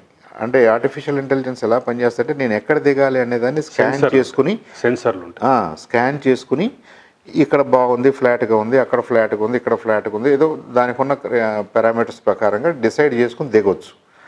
అది బాగా పనిచేసింది అనుకోండి సేఫ్గానే దిగి ఉంటుంది సో అన్నీ పనిచేసి ఉంటే సేఫ్గానే దిగి ఉంటుంది only thing is we don't know what is happening there ఇదొక పాసిబిలిటీ అయితే ఇది ఇప్పుడు మన కమ్యూనికేషన్ లేదు కాబట్టి ఇంకొకళ్ళు ఎవరో చెప్తే కానీ మనకు తెలియాలి. చంద్రుడి చుట్టూ తిరుగుతున్న మన ఆర్బిటరే ఈ దక్షిణ ధ్రువం దగ్గరకు వచ్చినప్పుడు ఆ ల్యాండింగ్ స్పాట్కి వచ్చినప్పుడు ఇంటెన్సివ్ ఫోటోగ్రఫీ ద్వారా ఏం చేసి ఏం తెలుసుకున్నాం అంటే ఇంతవరకు మనం ఎస్ ల్యాండర్ అయితే ఉంది. ఒక్క పీస్లోనే కనిపిస్తుంది. కాబట్టి మరీ క్రాష్ అయి ఉండదు. హై స్పీడ్లో క్రాష్ అయి ఉండదు. స్లోగానే ల్యాండ్ అయి ఉంటుంది. అనుకుందాం. లేదా స్లోగా పడి ఉంటుంది. మరీ క్రాష్ కాలేదు కాబట్టి దాంట్లో ఉన్న పరికరం. రోవరు సేఫ్గానే ఉండి ఉంటుంది సో ఈ ల్యాండర్ని మనం కమ్యూనికేషన్ కనుక ఆర్బిటర్ తోటి ఈ లింక్ ఏర్పాటు చేయగలిగితే మనం నిజంగా ఆ రోవర్ను ఇప్పుడు బయటకు తీసుకొచ్చే అవకాశం ఉంటే రోవర్ని ఇంకా బయటికి తీసుకురావచ్చు ఎందుకంటే మనకు పద్నాలుగు పగళ్ళు పద్నాలుగు రాత్రులు అంటే fourteen full days on earth is equal to one day day lunar time day. Day time on lunar అన్ లూన్ అంటే అంత టైం సన్ పడుద్ది ఆ ఏరియాలో. కాబట్టి ఆ స్పాట్ని మనం సెలెక్ట్ చేసుకున్నాం. సో మొన్న ఎన్నో తారీఖుని జరిగింది? ఆరు రాత్రి. ఆరు రాత్రి నుంచి అంటే ఏడో తారీఖు అనుకుంటే ఏడు నుంచి పద్నాలుగు రోజులు అంటే ఇరవై ఒకటి ఇరవై ఇరవై ఒకటి వరకు మన ల్యాండర్ ఉన్న ప్రదేశం మీద సన్లైట్ పడుతుంది. సో మనకి ఏమాత్రం అవకాశం ఉన్నా ఆ ల్యాండర్ని కనెక్షన్ ఎస్టాబ్లిష్ చేసుకోవడం. ఒకటి అది కరెక్ట్గానే ల్యాండ్ అయి ఉంటే త్రూ కమాండ్స్ దాని డోర్ ఓపెన్ చేసి లోపల ఉన్నటువంటి ప్రజ్ఞ అనే రోవరు బయటకు వచ్చే అవకాశం ఉంటుంది. ఒక రోజు పనిచేసినా రెండు రోజులు పనిచేసినా పనిచేసి ఎంతో కొంత మనకి ఇన్ఫర్మేషన్ ఇస్తుంది. అయితే మీరు ఇందాక డాక్టర్ శివన్ అన్నట్టుగా నైంటీ ఫైవ్ పర్సెంట్ అన్నారు. It depends on how you look at it అదే మాధవన్ నాయర్ గారు ఏమన్నారు? ఆయన ఈజ్ ఈజ్ వెరీ అంటే కాషియస్ ఇప్పుడు అంతవరకు చేయగలిగామంటే more than ninety nine percent అయిపోయింది కదా అని ఆయన అన్నాడు. ఎందుకని? You know how the lander technology works retro rockets అని ఉంటాయండి. అంటే మీరు మరీ స్పీడ్గా పడిపోకుండా చిన్న రాకెట్స్ ఫైర్ అవుతుంటాయి. అంటే ఏంటి? మీకు చేయి పెట్టి ఆపటం అనమాట మీరు నా వైపు పరిగెత్తుకుంటూ గ్రావిటీ వస్తున్నారు. గ్రావిటీని రివర్స్ ఆ, డైరెక్షన్ మీరు నా వైపు పరిగెత్తుకుంటూ వస్తున్నారు. చంద్రుడు నేను చంద్రుడిని నా ఆకర్షణ శక్తి ఉంది. మీరు నా వైపుకి రావాలి ఇప్పుడు. కింద పడాలి నా మీద పడాలి. నేనేం చేస్తున్నాను మధ్యలో ఇంకో ఫోర్స్ పెట్టి చేత్తో ఆపుతున్నాను నిదానంగా. I'm not stopping you fully but I'm breaking your speed చేసుకుంటూ చేసుకుంటూ చంద్రుడి ఉపరితలం మీదకి వచ్చేసరికి two metres per second or లోపు. అంటే అంతకంటే ఎక్కువ స్పీడ్ అయితే మళ్ళీ ఆ స్ప్రింగ్స్ అవన్నీ సరిగ్గా పనిచేయవు కాబట్టి సస్పెన్షన్ సిస్టమ్ పనిచేయదు కాబట్టి ఏదో ఒక లెగ్ డ్యామేజ్ అయింది అనుకోండి మొత్తం ల్యాండర్ పడిపోయే అవకాశం ఉంటుంది. ఓ పక్క పడిపోతే మళ్ళీ రోవర్ బయటికి రావడానికి అవకాశం ఉండదు. సో ఇవంతా కూడా ప్రీ ప్రోగ్రామ్డ్ వెల్ డిజైన్డ్ వీటిలో రకరకాల పార్ట్స్ పనిచేస్తున్నాయి. పనిచేసినాయి ఆల్రెడీ. మనకి గగనయాన్ త్రీకి ఏం కావాలో గగనయానికి ఏం కావాలో చంద్రయాన్ త్రీలో. కొన్ని మనం ప్రూవ్ చేయాలి. ఇది అది ప్రూవ్ చేస్తే మనం యాక్చువల్గా మనిషిని on schedule two thousand twenty టూకి పంపడానికి as of now there is no problem ఇప్పుడు ఈ ఈ చిన్న హికప్ ఉన్నప్పటికీ ఈ చిన్న ప్రాబ్లం ఉన్నప్పటికీ యాజ్ ఆఫ్ నౌ మన ఇరవై ఒకటో తారీఖులో అది సాల్వ్ చేయగలమా లేదా దానికి ఏం చేస్తాం అనేది ఇది పక్కన పెట్టేసిన మీకు గగనయానికి కావాల్సినటువంటి చాలా చాలా పీసెస్ ఆల్రెడీ డెమాన్స్ట్రేట్ అయిపోయినాయి. అయిపోయినాయి. కాబట్టి ప్రధానమంత్రి గారికి కూడా వాళ్ళు హామీ ఇవ్వగలిగారు. భారత అంతరిక్ష పరిశోధనలో గగన్యాన్ అట్లాగే చంద్రయాన్ త్రీ వీటన్నిటితో పాటు మరొక కీలకమైనటువంటి అంశం బాగా వినిపిస్తోంది. అది భారత్కి సొంత స్పేస్ స్టేషన్. ఎస్ దాని ప్రాబిలిటీస్ ఏంటి? దాన్ని అది ఎప్పటికల్లా వచ్చే అవకాశం ఉంది. ఇప్పుడు space station international space station ఏదైతే ఉందో ఇట్స్ అన్ ఆర్టిఫిషియల్ సాటిలైట్ అంటే భూమికి చంద్రుడికి మధ్యలో కొంత హైట్లో స్పేస్లో ఒక స్టేషన్ ఉంటుంది. అది భూమితో పాటుగా తిరుగుతూ ఉంటుంది. Otherwise it will not be stable ఇదంతా జరుగుతుంది. మనం ఏమంటున్నామంటే ఇంకొద్దిగా దూరం వెళ్తే మనం ఇప్పుడు మనం వెళ్ళినట్టుగా చంద్రుడినే మనం స్టేషన్ అనుకోవచ్చు కదా. So we are looking at moon as a space station మనం గగనయాన్ అనేది ఆ ఉద్దేశంతో వెళ్తున్నాం మనం. సరే ఈలోపు అక్కడ ఉపరితలం ఎలా ఉంది? కండిషన్స్ ఎలా ఉన్నాయి? అట్మాస్ఫియర్లో ఏమేమి ఉంది? సాయిల్లో ఏమేమి ఉంది? ఇవన్నీ తెలుసుకోవడం అనేది సైంటిఫిక్ పార్ట్ అది మనకు అర్థమైనా అర్థం కాకపోయినా తెలిసినా తెలియకపోయినా it's it's a body that we can land అనేది మనకు అర్థమైతే అక్కడ మనం మనకు కావాల్సినట్టుగా ఏర్పాటు చేసుకుంటాం. ఒక్క మాటలో చెప్పాలి అదే station అంతరిక్షంలో శూన్యంలో ఉండకుండా చంద్రుడి మీద చంద్రుడిని మనం ప్లాట్ఫామ్గా వాడుకుంటాం. ప్లాట్ఫామ్గా వాడి మనం స్పేస్ స్టేషన్ ఏర్పాటు చేయబోతున్నాం. ఎస్ సార్ అంతే కదా? ఎస్ సార్ మన మనమే కాదు. ఇప్పుడు మనం ఈ ప్రయత్నం చేసే లోపు మిగతా వాళ్ళకి కూడా ఏమర్థమైందంటే అమెరికా లాంటి దేశాలకు కూడా. అరే ఇదేదో స్మార్ట్గా ఉంది కదా మనం గతంలో చేయలేక ఎలా చేసాము ఇప్పుడు why not we also do on moon అని చెప్పేసి వాళ్ళు కూడా అనౌన్స్ చేశారు. ఇరవై ఐదుకు వాళ్ళు వెళ్ళాలని ప్రయత్నం. ఇరవై రెండుకు మనం వెళ్తాం. మొత్తం మీద చంద్రుడిని చంద్రుడి పైన స్పేస్ స్టేషన్ స్టేషన్ లాగా వాడుకుంటాం. అక్కడ ఎక్స్పెరిమెంట్స్ చేసుకోవడానికి మనకు వీలైనట్టుగా మనం ఏర్పాటు చేసుకుంటాం. అంటే చంద్రుడి దగ్గరికి వెళ్ళటం రావడం అనేది షటిల్ సర్వీస్ లాగా మారాలి మనకి. డెఫినెట్గా మారుద్ది. ఇప్పుడు అమెరికన్స్ యూరోపియన్స్ ఈ ఇంటర్నేషనల్ స్పేస్ స్టేషన్ ఎలా వాడుకుంటున్నారో అక్కడికి షటిల్ వెళ్ళి ఎలా వస్తుందో. మనం రేపు మూన్తో పెట్టుకుంటాం ఆ link moon becomes our station ఫ్యూచర్లో మనం చేయబోయే ఫార్ ప్లానెటరీ ఎక్స్ప్లోరేషన్స్ దూరంగా ఉన్న ప్లానెట్స్ మీదకి వెళ్ళడానికి డీప్ స్పేస్లోకి వెళ్ళడానికి ఇంకేదన్నా ఇన్స్ట్రుమెంట్స్ని మనం దూరంగా పంపించడానికి మనం ఇక్కడ నుంచి డైరెక్ట్గా పంపకుండా ఇక్కడ నుంచి చంద్రుడి దాకా వెళ్ళి అక్కడ నుంచి చేయాల్సిన పనులు కొన్ని చేసి అక్కడ నుంచి నెక్స్ట్ నెక్స్ట్ ప్రయాణం అక్కడ నుంచి స్టార్ట్ చేయొచ్చు. ఇట్స్ యాజ్ సింపుల్ యాజ్ ఇప్పుడు నాకు నాకు ఉదాహరణకి నా కారు బయలుదేరాలండి విజయవాడలో. నేను హైదరాబాద్ దాకా రావాలంటే పెద్ద ట్యాంక్ ఉండాలి నాకు. అంటే డెడ్ వెయిట్ నేను. మోసుకుంటూ వెళ్ళాలి. అలా కాకుండా మధ్యలో గ్యాస్ స్టేషన్ ఉంది కదా నేను అక్కడ పది లీటర్లు పోసుకుంటాను తర్వాత మధ్యలోకి వచ్చి ఇంకో పది లీటర్లు పోసుకుంటాను ఇంకో చోట పది లీటర్లు పోసుకుంటాను. అంటే ఏమైంది నా ప్రయాణం?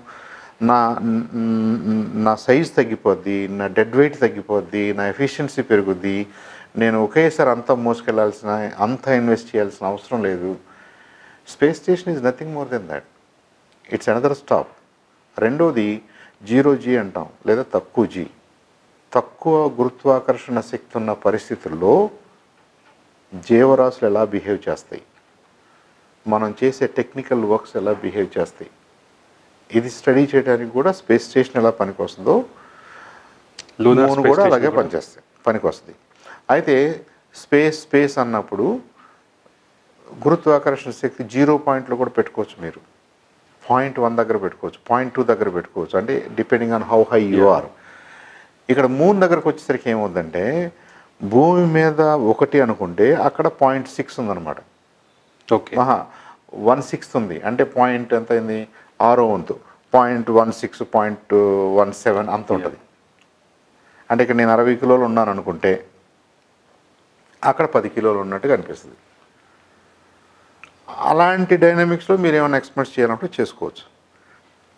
ఇప్పుడు మన స్పేస్ స్టేషన్ కూడా భూమి ఆకర్షణిక పరిధిలో ఉండి తిరుగుతుంది కాబట్టి కరెక్ట్గా జీరోలో ఉండాల్సిన అవసరం లేదు. వాళ్ళు కూడా ఏదో ఒక రకమైన జీలో ఆపరేట్ చేస్తూ ఉంటారు. సో మన భూమి ఆకర్షణ శక్తి ఇక్కడ నుంచి నథింగ్ సున్నా అయిపోయింది. ఇంకా కొంత దూరం ప్రయాణం చేస్తే చంద్రుడి ఆకర్షణ మనకు వచ్చేస్తుంది. ఈ మధ్యలో ఉన్నది నిజంగా నిజంగా జీరో జీ అనమాట మీరు జీరో జీలో చేస్తారా? కొద్దిగా లోనార్ ఆకర్షణ కింద చేస్తారా? కొద్దిగా భూమి ఆకర్షణ కింద పూర్తిగా లూనార్ మీద చేస్తారా? చేస్తారా? ఇవన్నీ కూడా for different purposes useful items మొత్తం మీద భారత అంతరిక్ష పరిశోధనలో ఒక కీలక ఘట్టం కాబోతోంది lunar space station Indian can we call it as lunar space station because grounded on it is it is going to be grounded on మీరు అదే అనాల్సి వస్తుంది.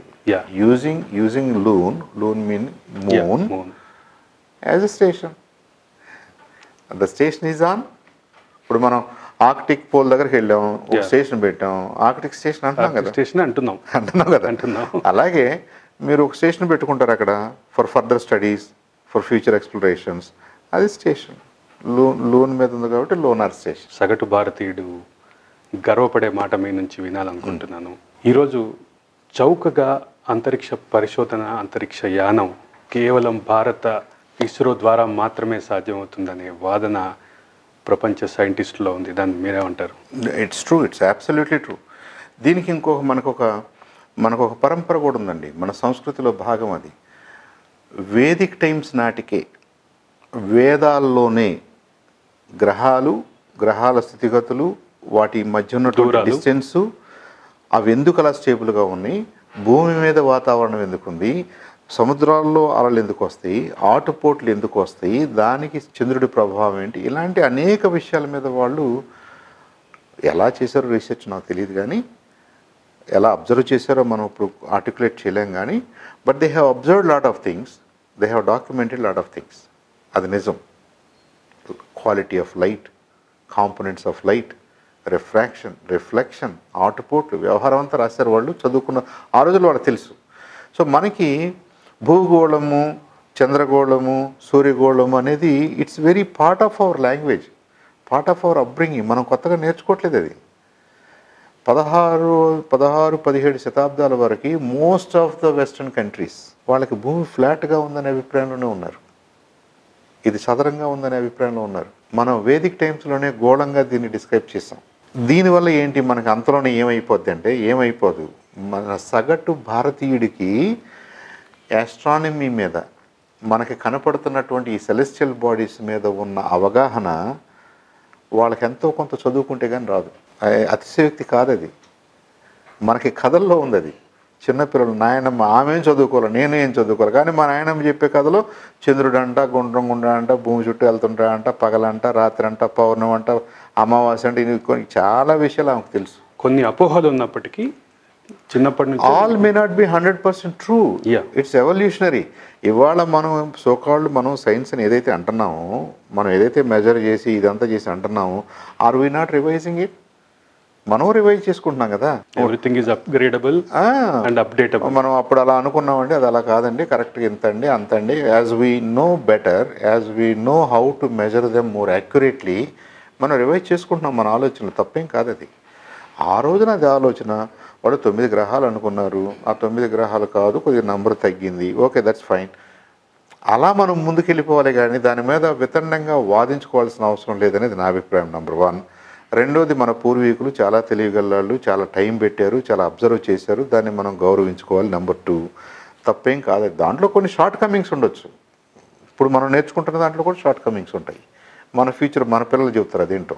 దీని షార్ట్ కమింగ్స్ ఏంటో? కాబట్టే భారతీయులు మన మన దేశం మన వ్యవహారం మనం పనిచేసే విధానం మన ఇన్స్టిట్యూషన్ మన వేదిక్ మ్యాథమెటిక్స్ ఈ sum total of all these things ఇవాళ స్పేస్ రీసెర్చ్లో మనం ఏది చేసినా కానీ ఎఫెక్టివ్గా చేయగలుగుతున్నాం తక్కువ ఖర్చుతో చేయగలుగుతున్నాం. ISRO is one of the best organisations in the world సరే నేను అక్కడ పనిచేశానని చెప్పట్లేదు. ఇండియాలో ప్రాబబ్లీ ద బెస్ట్ ఆర్గనైజేషన్ చివరి రాజకీయ ప్రశ్న. రాబోయే రోజుల్లో ఆంధ్రప్రదేశ్లో బీజేపీ పరిస్థితి ఏ స్థానంలో ఉండబోతోంది? సార్ ఐ థింక్ మా బలాన్ని పెంచుకుంటాం మా వాదనని వినిపిస్తాం ప్రజల్ని కన్విన్స్ చేసి వాళ్ళ మద్దతు కోరుతున్నాం. యాజ్ వీ గో ఫార్వర్డ్ మిగతా అన్ని రాష్ట్రాల్లో ఏం జరుగుతుందో మన దేశంలో ఏం జరుగుతుందో ప్రపంచవ్యాప్తంగా దేశానికి ఎందుకు పరపతి పెరుగుతుందో ఇవాళ నరేంద్ర మోడీ గారి నాయకత్వాన్ని ఎందుకు నాట్ ఓన్లీ భారతదేశం మిగతా దేశాలు కూడా గౌరవిస్తున్నాయో భారతదేశానికి ఎందుకు ఇంత పెద్దపేట వేస్తున్నాయో దాని అవగాహనలో దాన్ని ఎక్స్ప్లెయిన్ చేయటంలో దాన్ని జనాలకి మన ఆంధ్ర ప్రజలకి తెలుగు ప్రజలకి బోత్ తెలంగాణ అండ్ ఇక్కడ ఈ ఎక్స్ప్లెయిన్ చేయటంలో కొద్దిగా ఇబ్బందులు ఉన్నమాట వాస్తవం. దానికి బై డిజైన్ చంద్రబాబు నాయుడు గారు కానీ ఇంకొకళ్ళు కానీ ఇంకొకళ్ళు కానీ అడ్డుగా నిలబడ్డారు. అదే పనిగా కావాలని భారతీయ జనతా పార్టీని దోషిగా నిలబెట్టాలని ట్రై చేశారు కాబట్టి we have to do some extra work వీటిని అధిగమించి ఎక్స్ట్రా వర్క్ డెఫినెట్గా చేయాలి. చేయాలి. అది చేస్తూ చేస్తూ ఇప్పుడు త్రిపుర తీసుకోండి మీరు వెస్ట్ బెంగాల్ తీసుకోండి ఒరిస్సా తీసుకోండి అక్కడ కూడా గతంలో ఏం లేదు భారతీయ జనతా పార్టీ. ఇవాళ మరి నువ్వా నేను అన్నట్టుగా వచ్చేసింది. త్రిపురలో అయితే గవర్నమెంటే ఫామ్ చేయగలిగింది చిన్న స్టేట్ అయినా. వెస్ట్ బెంగాల్లో మంచి ఛాలెంజ్గా నిలబడింది. ఒరిస్సాలో ఛాలెంజ్ చేసింది. అలాగే తె తెలంగాణలో నాలుగు ఎంపీ సీట్లు. ఎం- ఒక ఎమ్మెల్యే గెలవలేని పరిస్థితిలో నాలుగు ఎం ఎంపీ సీట్లు గెలుచుకోగలిగింది. అంటే people are watching BJP BJP is also trying to convince people work with people make them understand the vision మనం ఏం కొత్తగా ఏం చేయట్లేదు. మనం గతంలో ఏం చేయాలనుకున్నామో ఈ దేశానికి ఏది మంచిదో మనందరికీ ఏది మంచిదో అదే చేద్దాం అనుకుంటున్నాం. మీరు మాకు మద్దతుగా నిలబడండి. మీ మద్దతు మాకు కావాలి. ఐ థింక్ జగన్మోహన్ రెడ్డి గారు ఏం చేస్తాడు అనేది కూడా దీంట్లో ఈక్వేషనే జగన్ జగన్మోహన్ రెడ్డి గారు జాగ్రత్తగా మంచిగా చేసుకుంటే the game is tougher Jaganmohan Reddy గారు కూడా బాబు గారు లాగా ఫాల్ట్ అయ్యాడు అనుకోండి BJP will will definitely be a force మేము అధికారంలోకి రావాలని ట్రై చేస్తాం ఆబ్వియస్గా రావడానికి ఈ ప్రయత్నం అంతా కూడా. Two thousand twenty three or twenty four whenever the next elections are BJP will be the force to count on శాస్త్ర సాంకేతిక విషయాల నుంచి ముఖ్యంగా స్పేస్ టెక్నాలజీ నుంచి తెలుగుదేశం బీజేపీ ఈ రెండింటి రాజకీయాల వరకు. ఇది చందు సాంబశివరావు గారితో talk show with Aravind Kolli. ధన్యవాదాలు సాంబశివరావు గారు. నమస్కారం.